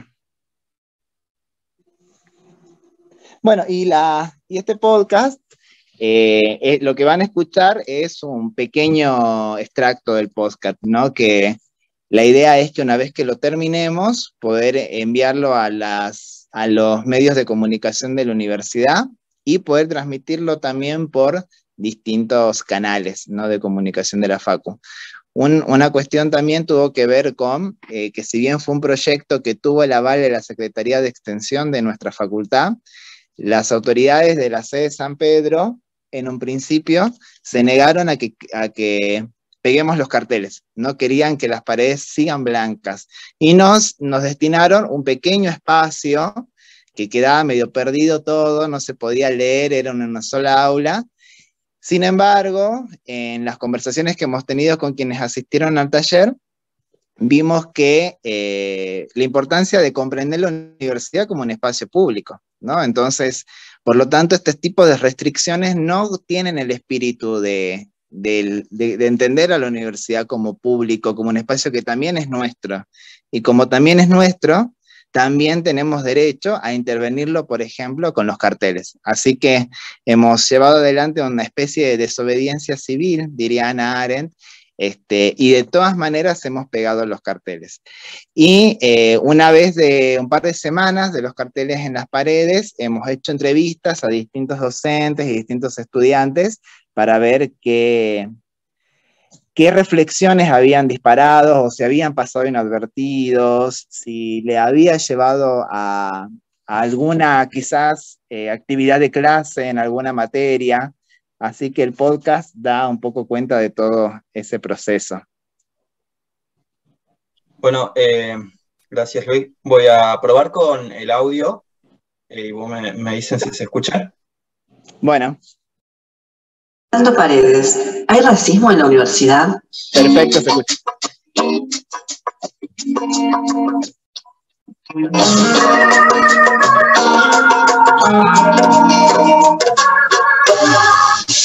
Amarronando Paredes, Interpelaciones antirracistas en aulas y pasillos de la sede San Pedro.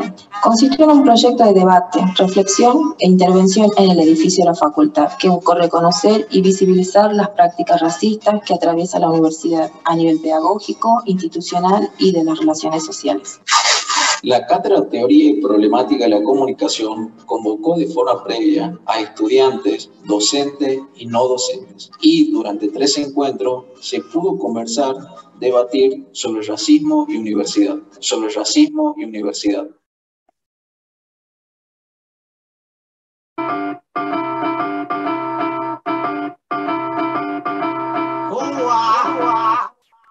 A mí lo que me llamó la atención del título eh, bueno, lo vi en un flyer y bueno, me llamó el título de Universidad y Racismo. ¿Por qué? Porque nunca lo había visto dentro de lo que es el área de universidad. Me llamo Julieta Cinco, soy de Fraile y antes de venir digo, no creo que tengas racismo en mi vida. Hasta que me di cuenta en las charlas que me entendiendo que hay racismo en muchas partes, en cada parte de mi vida.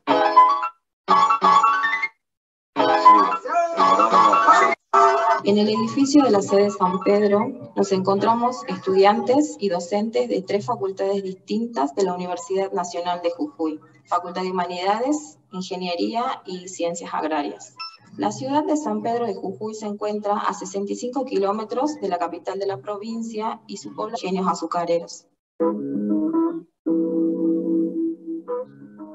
Bueno, mi nombre es Romina Argote, soy parte del equipo docente del proyecto. Y bueno, las repercusiones, las repercusiones fueron bastante significativas, ya lo van a escuchar en las voces de los propios estudiantes, las propias estudiantes y docentes hemos conversado. Y bueno, nos han contado que en verdad, este, por suerte fue impactante el pegado de carteles, ¿no? El encontrarse con carteles que invitaban a la reflexión o con un dibujo. O con una frase eh, o con una pregunta. Así que pensamos que un poco el objetivo del proyecto fue cumplido por a la sede y a las paredes.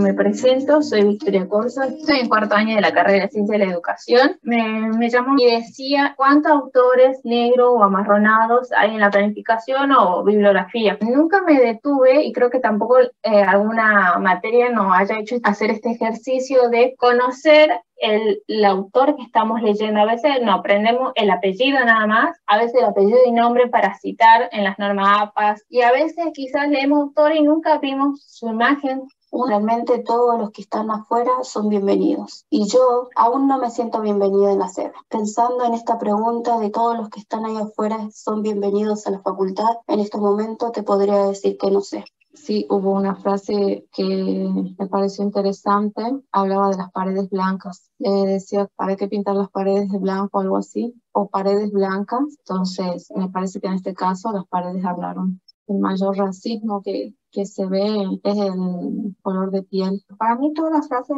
producen alguna sensación, pero quizá la más significativa para mí es la yo también puedo estudiar en la universidad, que remarca en sí eh, lo significativo que puede llegar a ser para cualquier persona, sobre todo de, de, familias que quizás son la primera generación en entrar en la universidad. Y esa frase para mí es lo que le da ánimo a todos los estudiantes, porque no es fácil llegar a ella, ¿no? Ni permanecer, pero sí hay algo que siempre está claro es que queremos estar en la universidad, queremos estar en la universidad.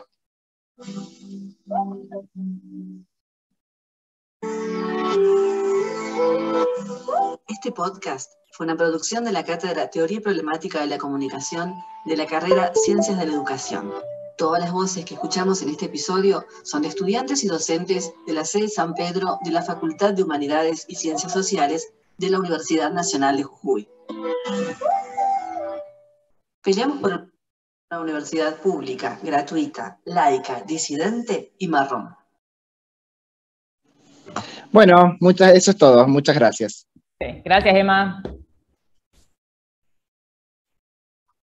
Muito obrigada à equipe da Argentina, né, de Jujuy e São Pedro, discutindo é, e trazendo né, também é, os debates e os impasses do racismo institucional também, não é? Então, é muito importante é, expor esses enfrentamentos. Muito obrigada a toda a equipe né, por compor também esses trabalhos. E nós vamos, é, então, agora passar para a nossa querida Caridade Brito, que seguirá com as demais equipes.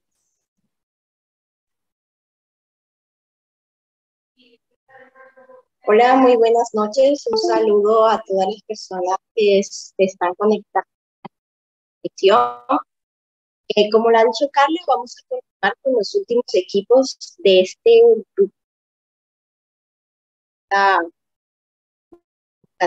para este 2022 y continuamos con el grupo de la danza como aporta el diversidad sociocultural de Chile. Se encuentran conectadas los moderadores de este grupo. Sí, hola, Caridad. Hola, te escuchamos.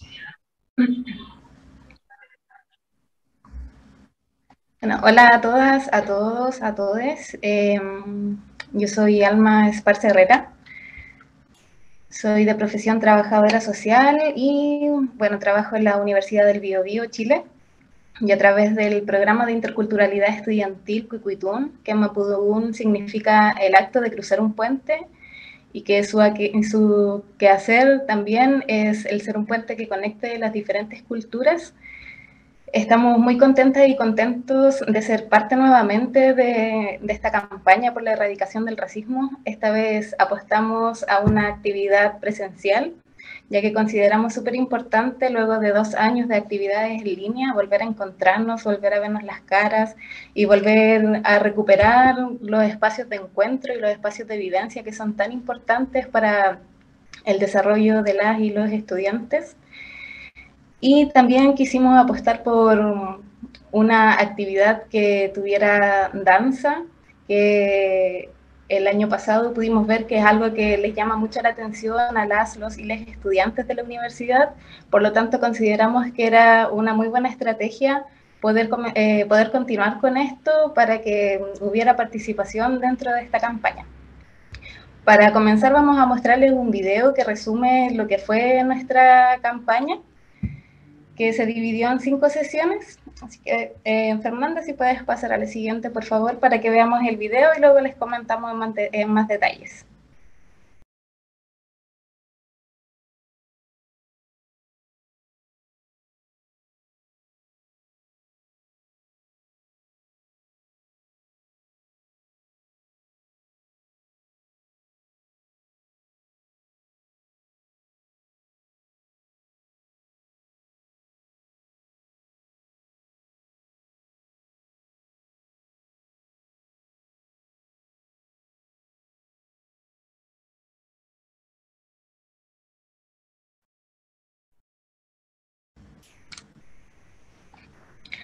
Fernanda, ¿puedes compartir el audio, por favor?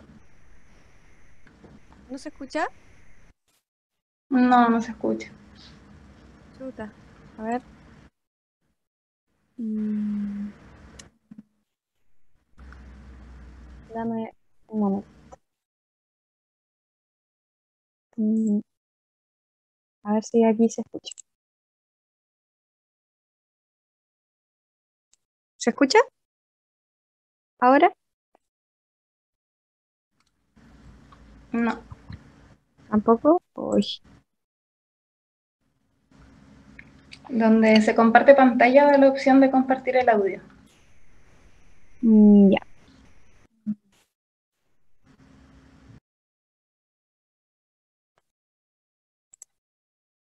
Mm, compartir sonido, ahora sí. ya. Y ahora sí vamos nuevamente con el video.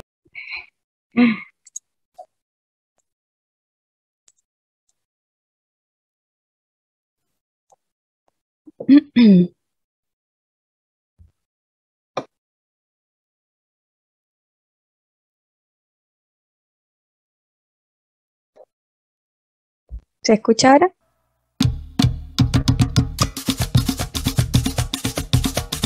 Sí.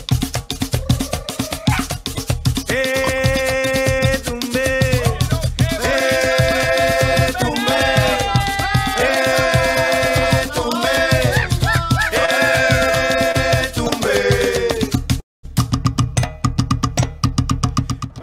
Dentro de la Universidad del Biobío trabajamos con una población diversa de estudiantes, lo cual nos implica preguntarnos constantemente cuáles son las barreras a las que se enfrentan principalmente estudiantes que pertenecen a grupos históricamente excluidos y de qué forma podemos eliminar estas barreras.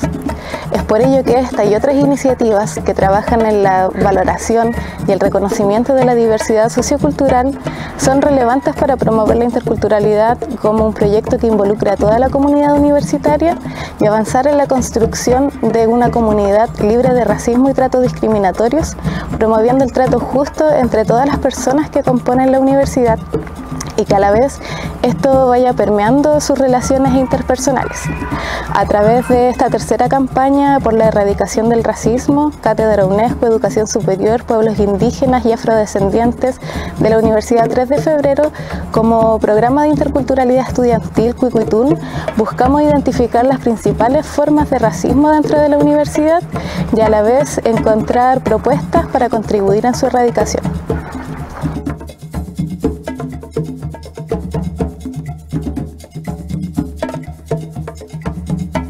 En esta campaña contra la erradicación del racismo dentro de contextos universitarios realizamos un taller de danza donde la danza eh, eh, es una herramienta para eh, el reconocimiento de la diversidad sociocultural. ¿sí? En este taller de danza lo que vimos principalmente fue el ritmo del tumbe, acompañado también de la historia de este pueblo eh, que ha sido reconocido legalmente a partir desde el año 2016, ¿sí? Eh, y mm, a raíz de, ese hito tan importante para el territorio, eh, es que quisimos también profundizar en la historia de este pueblo, cómo es que llega a Latinoamérica, cómo es que llega a Chile y cuál es el legado también de los esclavos y esclavas africanos que llegaron a Latinoamérica. ¿sí?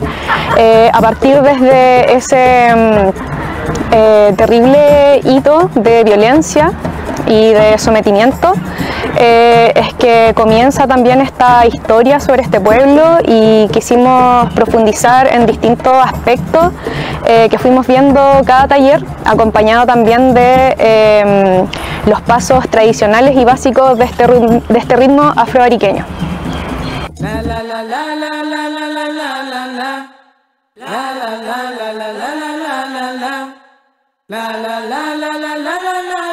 La campaña nos permitió aprender y reconocer las diversidades socioculturales, siempre bajo el margen del respeto y dándole el espacio que merecen y necesitan dentro de la universidad.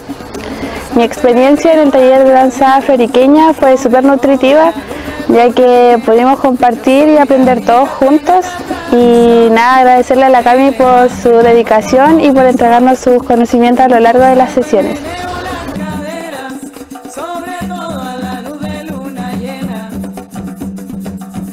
La tercera campaña se desarrolló de manera presencial en la Universidad del Biobío de Concepción, Chile. Se dividió en cinco jornadas, las cuales se pudo abordar la presencia del pueblo afrodescendiente en Chile los y las estudiantes tuvieron la oportunidad de reflexionar en torno a esto, por lo tanto se realizó en su primera instancia un conversatorio para luego dar paso a la danza.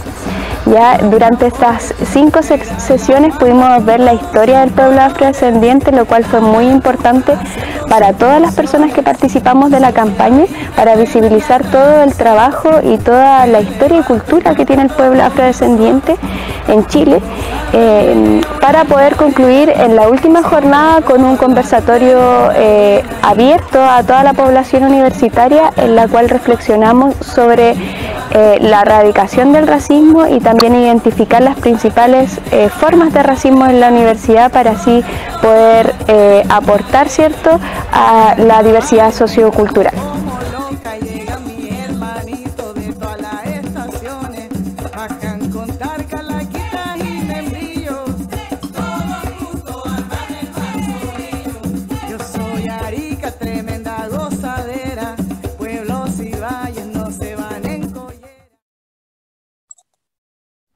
Bueno, eh, se pegó bastante el video, así que también les invitamos a revisarlo en nuestro Instagram, que es cuicuitun.vd. Cuicuitun se escribe con K e Y. Ahí lo pueden revisar para que lo vean eh, más detallado. Ojalá se haya pegado sobre la imagen y hayan escuchado bien el audio. Em, bueno, hacer una corrección con la fecha, el año en que se reconoce legalmente al pueblo afrodescendiente en Chile, que no es el 2016, sino que es el 16 de abril de 2019. Y esto luego de un trabajo que comienzan en el año 2000, un grupo de afrodescendientes de Arica, descendientes de la trata transatlántica de esclavos africanos. Así que en 2019 em, se reconoce legalmente al pueblo afrodescendiente en Chile. Fernanda, ¿podrías compartir pantalla, por favor? Bueno, hablarles un poco de la metodología que utilizamos para nuestra campaña. La dividimos en cinco sesiones. En cada una de estas sesiones comenzamos con un conversatorio y también vimos aspectos históricos del pueblo afrodescendiente en Chile para luego pasar a la parte de la danza. En cada, en cada sesión fue súper importante darnos un tiempo para conversar, ya que los temas y la historia del pueblo afrodescendiente eh, en Chile es, es un tema muy delicado y también doloroso. Entonces fue súper importante poder irnos conversando y poder ir compartiendo nuestros sentipensares en, cada una de estas, de estas sesiones. La primera sesión vimos de África, Latinoamérica. En la segunda eh, se llamó Negros en Chile.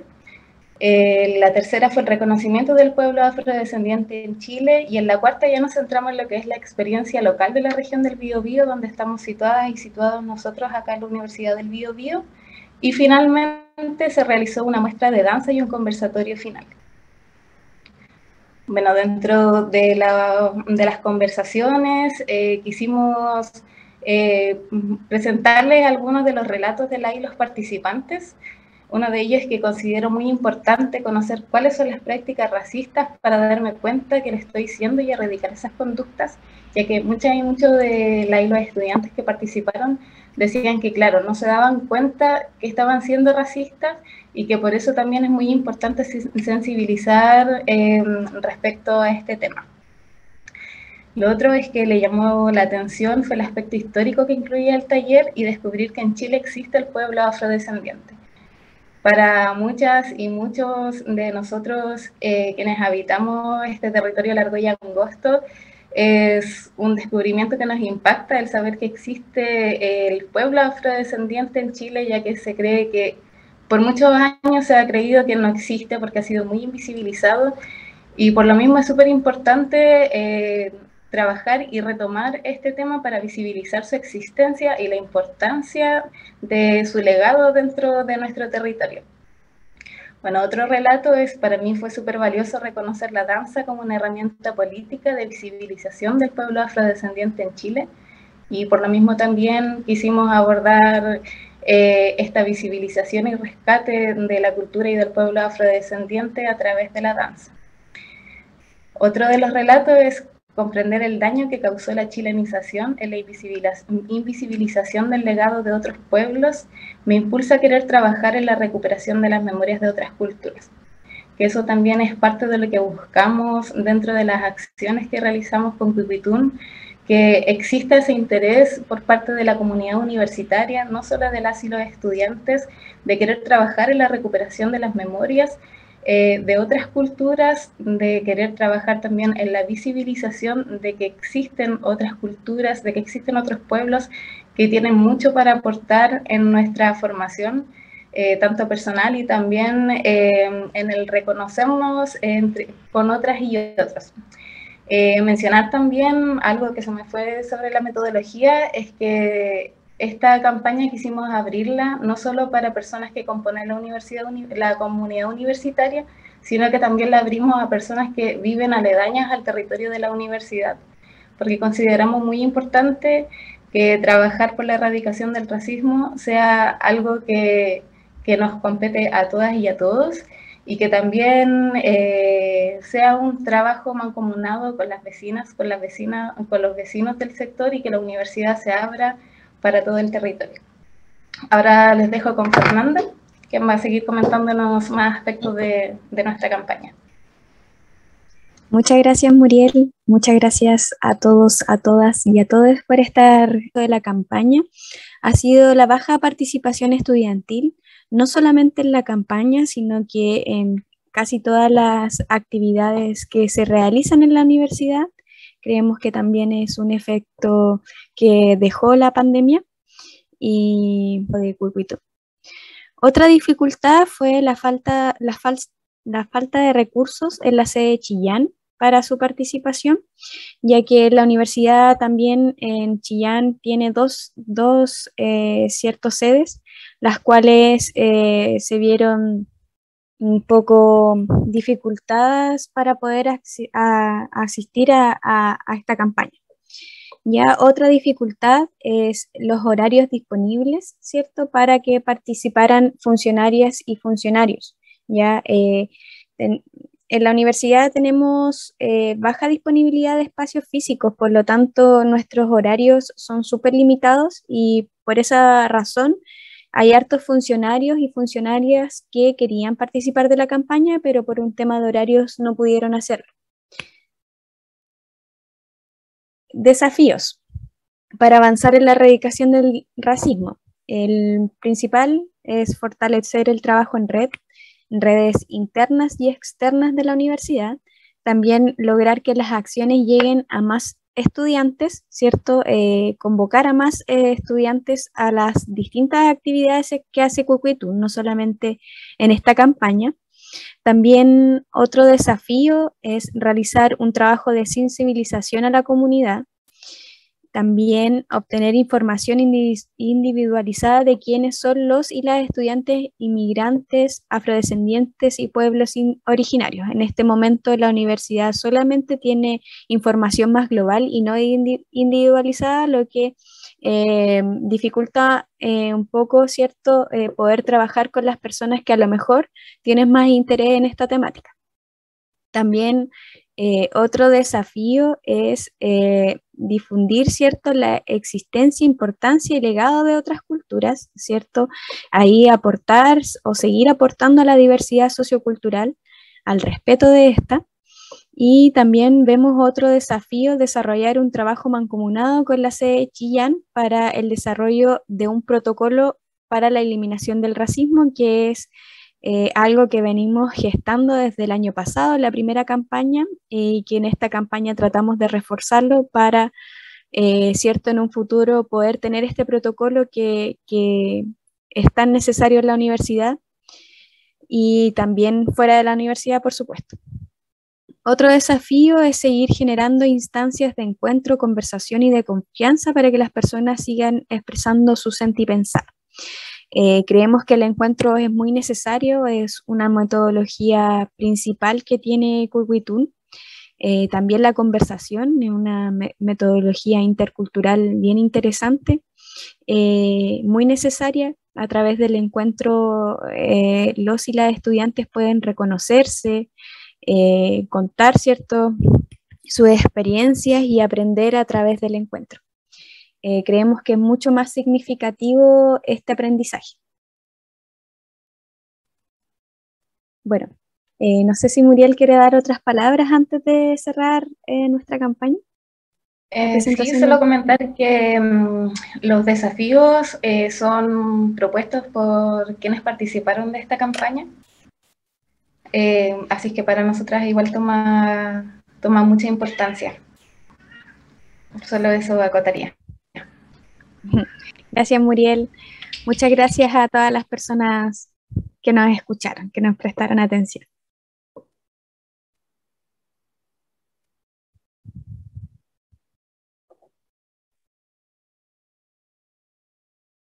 Muito obrigada à equipe é, da Universidade de Biobio, é, trazendo a dança como uma ferramenta de visibilização povos afrodescendentes e também apontando é, essa dimensão como é, também uma dimensão de enfrentamento é, ao racismo.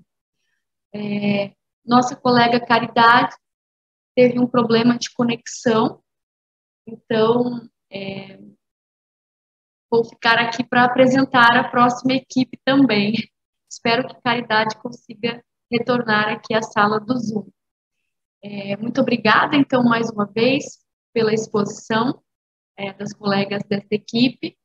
E passamos para é, a exposição da última equipe, da equipe é, 7, é, deste GT1, é RIMAI, Programa de Ação Integral contra é, o Racismo, e quem vai é, conduzir a exposição é Suzana.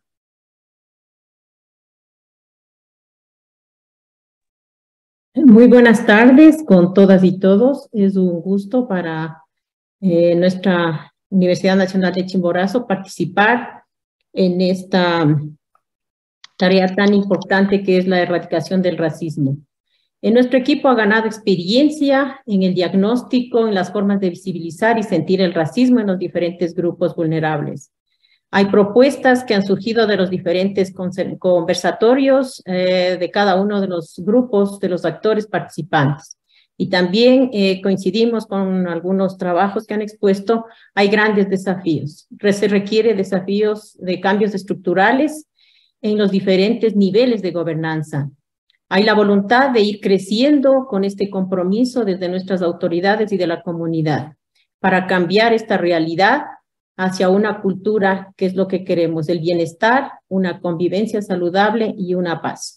Voy a compartir un video que tenemos preparado como el informe de, de esta campaña. Voy a compartir la pantalla, por favor.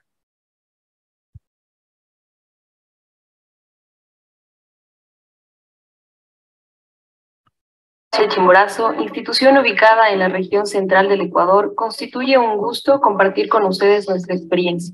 Como parte del equipo proponente de la campaña RIMAI, Voces, Cultura y Diversidad contra el Racismo y su segunda etapa RIMAI, Programa de Acción Integral contra el Racismo, invitada a participar en la tercera campaña.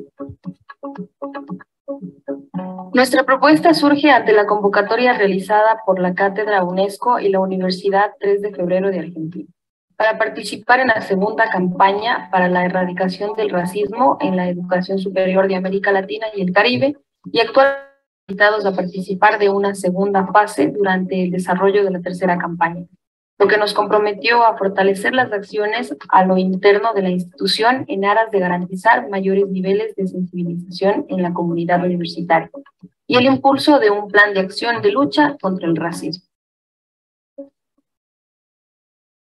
Rimay en el idioma quichua significa hablar, comunicarse y se creó como concepto estratégico de la campaña a fin de promover el diálogo entre la diversidad de culturas existentes en el territorio ecuatoriano y en el contexto de nuestra universidad, a través de un proceso sostenido que atienda a esta problemática y que rescate y difunda como principios fundamentales.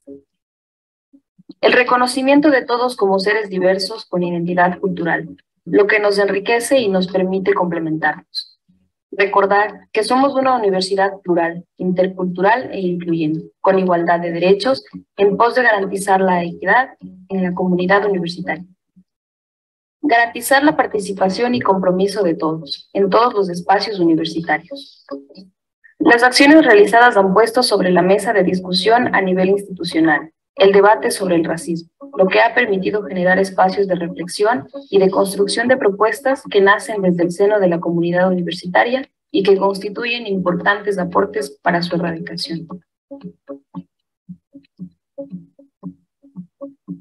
Entre las actividades desarrolladas, consideramos necesario identificar oportunamente las diferentes formas de racismo visibles o invisibles, con la participación de diversos actores educativos. Con el fin de emprender acciones contra este problema, se ha considerado relevante conocer las percepciones sobre el racismo presentes en la comunidad de la Universidad Nacional de Chimborazo, a partir de algunas interrogantes. ¿Cuáles son las experiencias con respecto al racismo? ¿Qué acciones contribuirían a reducir las formas? Se desarrolló dos talleres a través de la modalidad mesas de trabajo con el tema experiencias sobre el racismo y propuestas para luchar contra el problema en el mestizos, organizados en cuatro mesas, un total de 70 asistentes. Y el segundo taller con docentes de las 31 carreras de la UNACH. con una participación de 62 profesores. El diagnóstico obtenido permitió establecer la presencia del racismo en la UNACH y a partir de estos resultados se organizaron y ejecutaron nuevas reuniones de trabajo con docentes, miembros de las comisiones de carrera y dirigentes estudiantiles de los 31 programas de grado que oferta la institución con el fin de conocer desde los líderes académicos en cada carrera las percepciones que tienen sobre el racismo y el análisis de aspectos relacionados a los ejes sustantivos de docencia. Investigación y vinculación a fin de determinar su articulación con aspectos relacionados a la diversidad cultural existente en la UNACH. Y el ejercicio realizado desde la academia para responder a las demandas de estos sectores, a partir de los siguientes ejes temáticos. Explorando sentimientos, percepciones y decisiones frente al racismo y la discriminación.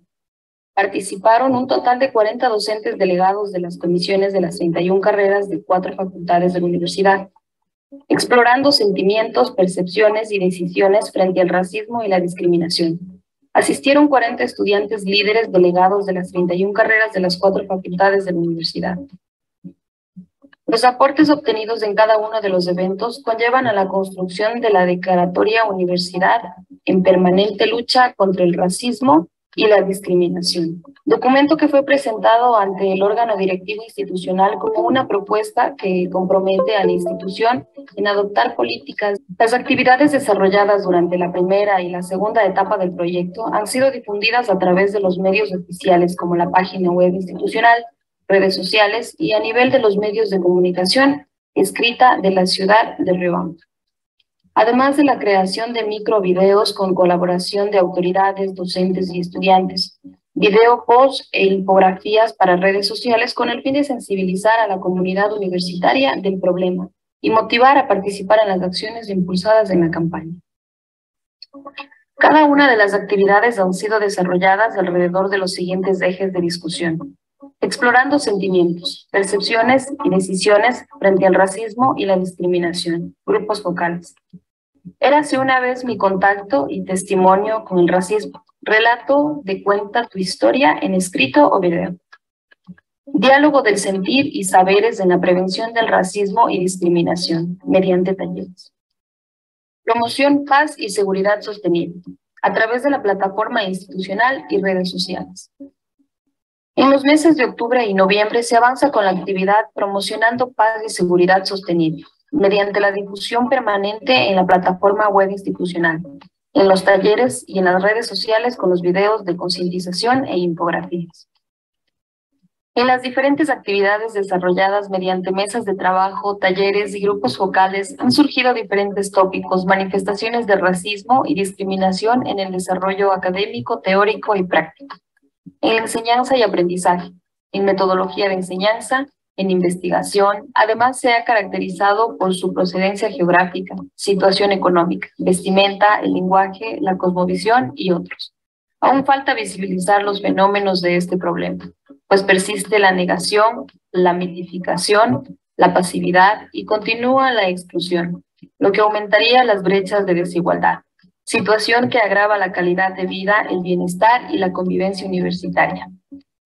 Está pendiente del taller diálogo del sentir y saberes en la prevención del racismo y discriminación, en el cual se va generando eventos o encuentros de reflexión sobre el tema de racismo y discriminación y a la vez planteamientos de solución que serán implementados en los planes de facultad y en el plan de desarrollo institucional. Además de la actividad Cuenta tu historia, érase una vez mi contacto y testimonio con el racismo el mismo que será escrito y grabado en video en el transcurso de este mes, al menos un estudiante por facultad. Esta realidad visible expuesta por quienes lo vivieron orientará a la toma de decisiones. En la reunión con estudiantes se ha socializado el pedido para que los educandos compartan sus narrativas. Las actividades realizadas en el marco del proyecto en la primera y segunda etapa, como se ha mencionado, permitieron la consecución de los objetivos propuestos y gracias al compromiso de las autoridades institucionales lideradas por el doctor Nicolai Samaniego, rector, y el doctor Luis Alberto Tuaza, vicerrector de investigación, con fecha de 28 de octubre de 2022. El Consejo Universitario, mediante resolución número 0311CU-UNACH, del 28 de octubre del 2022. Resuelve declarar a la Universidad Nacional de Chimborazo una universidad en permanente lucha contra el racismo y la discriminación. Por tanto, es nuestro compromiso concientizarnos sobre las formas de racismo y discriminación presentes en la educación superior, construir procesos de reflexión e implementación de estrategias de comunicación, socialización y divulgación, orientadas a su erradicación y a la construcción de espacios universitarios de igualdad y equidad. De la misma manera, es necesario generar el activismo de los sectores y actores de la comunidad universitaria para denunciar la discriminación y los prejuicios, para contrarrestar y apoyar a los perjudicados, así como potencializar en las aulas de clase el diálogo de los saberes científicos ancestrales formales y no formales, que permitan la revitalización de las lenguas, costumbres, tradiciones, creencias de los pueblos y nacionalidades, se propone como política institucional la generación de acciones que desde los ejes sustantivos de docencia, investigación y vinculación incorporen contenidos, metodologías, ambientes de aprendizaje, proyectos de investigación y vinculación que permitan el reconocimiento y fortalecimiento de la diversidad cultural, histórica y de pensamiento existente en el contexto universitario. Vista desde un enfoque holístico, enfrentar el racismo implica a la vez entender que la interculturalidad debe constituirse en un elemento crucial en la educación superior, que abra posibilidades para el debate. La profunda reflexión y la toma de decisiones conjuntas encimadas a formar profesionales que aporten en la construcción de sociedades más justas, equitativas, democráticas, a partir del reconocimiento del valor que tienen todos los actores por su condición de ser. El entendimiento mutuo y el establecimiento de un ambiente institucional propicio para el desarrollo de cada uno de los individuos. En ese marco, las mesas de trabajo y los diálogos sostenidos con los miembros de la comunidad universitaria al respecto evidencian una serie de desafíos. Otro reto que se plantea es la necesidad de que exista un mayor involucramiento y participación de los actores universitarios. El involucramiento, sin embargo, debe estar presente y extenderse hacia todos los ámbitos universitarios pues en ocasiones el tratamiento de temas vinculados a la interculturalidad, la diversidad, las condiciones de exclusión que enfrentan grupos minoritarios, el racismo, se considera exclusivos para determinadas carreras, sobre todo aquellas de índole social y educativa. El criterio generalizado es que deben ser abordados en todas las áreas del conocimiento sin distinción y no necesariamente como eje transversal. En este marco, un desafío adicional es el fortalecimiento de la interculturalidad que radica en la necesidad de abrir nuevos canales de investigación que permitan ahondar en estas problemáticas presentes en la dinámica social y que conlleven la generación de propuestas innovadoras para su adecuada inserción y tratamiento en el contexto universitario. La investigación en interculturalidad debe también apuntar a la ejecución de intervenciones que contribuyan a construir un ambiente de equidad y seguridad para todos. Del mismo modo, la investigación debe enfocarse a trascender el análisis teórico de la interculturalidad y considerar sus aplicaciones e implicaciones en la construcción de una sociedad sin discriminación ni exclusión. Adicionalmente, estudiantes y docentes estiman que la interculturalidad se ve amenazada por la falta de claridad en los alcances de su aplicación a nivel curricular. Es preciso un rediseño curricular en donde se tome en cuenta la diversidad existente en la institución, basada en una apropiada interpretación de las formas de conocimiento y realidades presentes. Se requiere de la adopción de prácticas transdisciplinarias donde la generación de conocimientos tenga como fundamento las necesidades de los actores.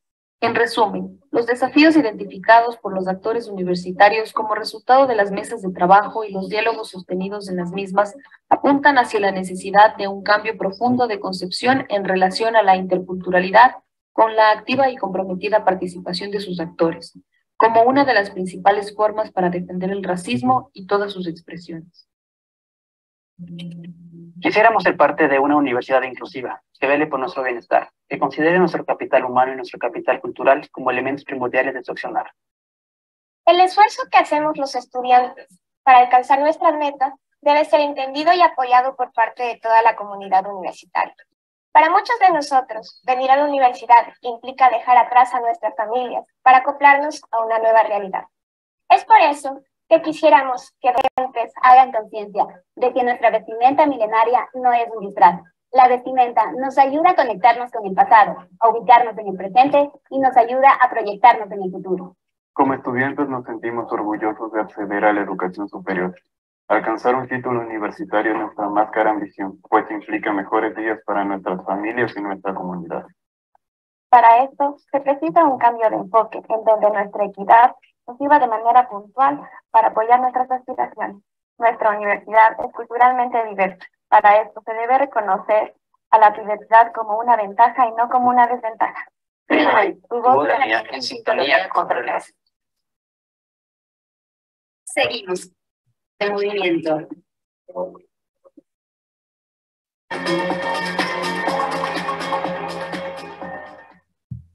Para quienes conformamos la Universidad Nacional de Chimborazo. Muchísimas gracias. Este es un informe, nuestro trabajo, y el trabajo continúa. Seguiremos en las diversas actividades hacia la transformación que queremos, la erradicación del racismo en nuestra universidad. Muchísimas gracias.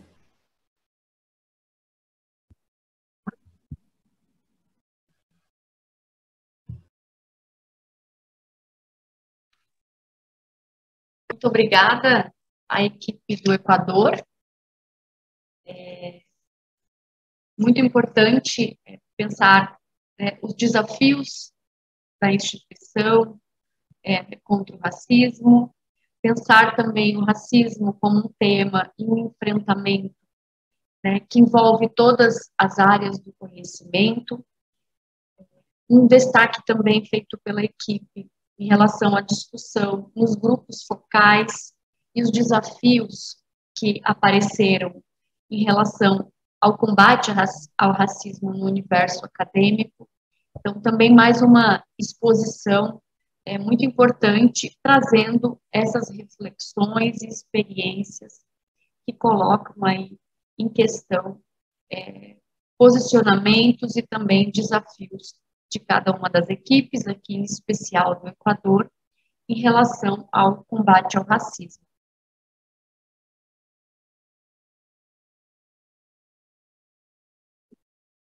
Bueno, Pienso que esta era la última exposición que teníamos programada para el día de hoy.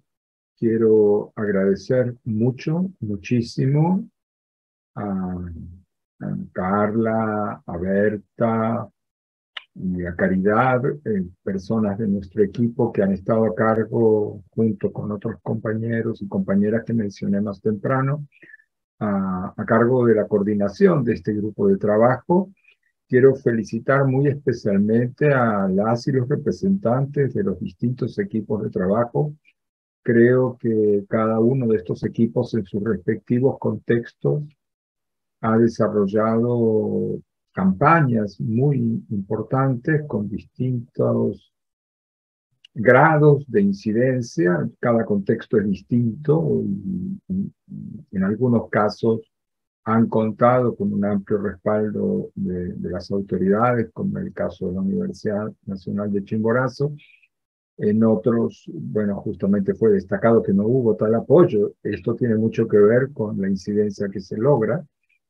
Eh, no es simplemente, digamos, eh, digamos que, que, unos equipos fueron más exitosos que otros, sino que hay distintos contextos no solo institucionales, sino en general sociales e históricos.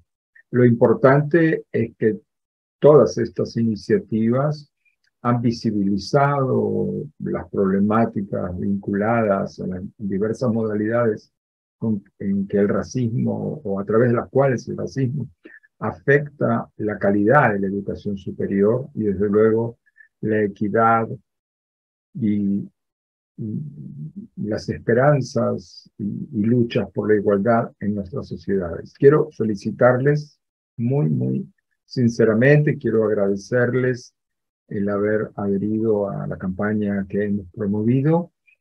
Eh, estoy despidiéndome con esto. Quiero darle la palabra a Victoria, coordinadora ejecutiva de nuestra cátedra, para que diga también algunas palabras. Eh, seguramente ya nos va a recordar que mañana tenemos otra sesión de la campaña también. Y bueno, muchísimas, pero muchísimas gracias. Y muchas gracias también a toda la gente que ha estado acompañándonos a través de YouTube, Facebook y otras plataformas. Muchas gracias. Victoria, por favor. Gracias, Daniel. Bueno, les agradecemos mucho por participar de este encuentro. Felicitaciones a todos los equipos y les esperamos en las próximas sesiones a través del canal de YouTube de la UNTREF, mañana viernes 25 y lunes 28 y martes 29 de la semana que viene a la misma hora, a las 18 horas de Argentina. Muchas gracias y nos estamos viendo.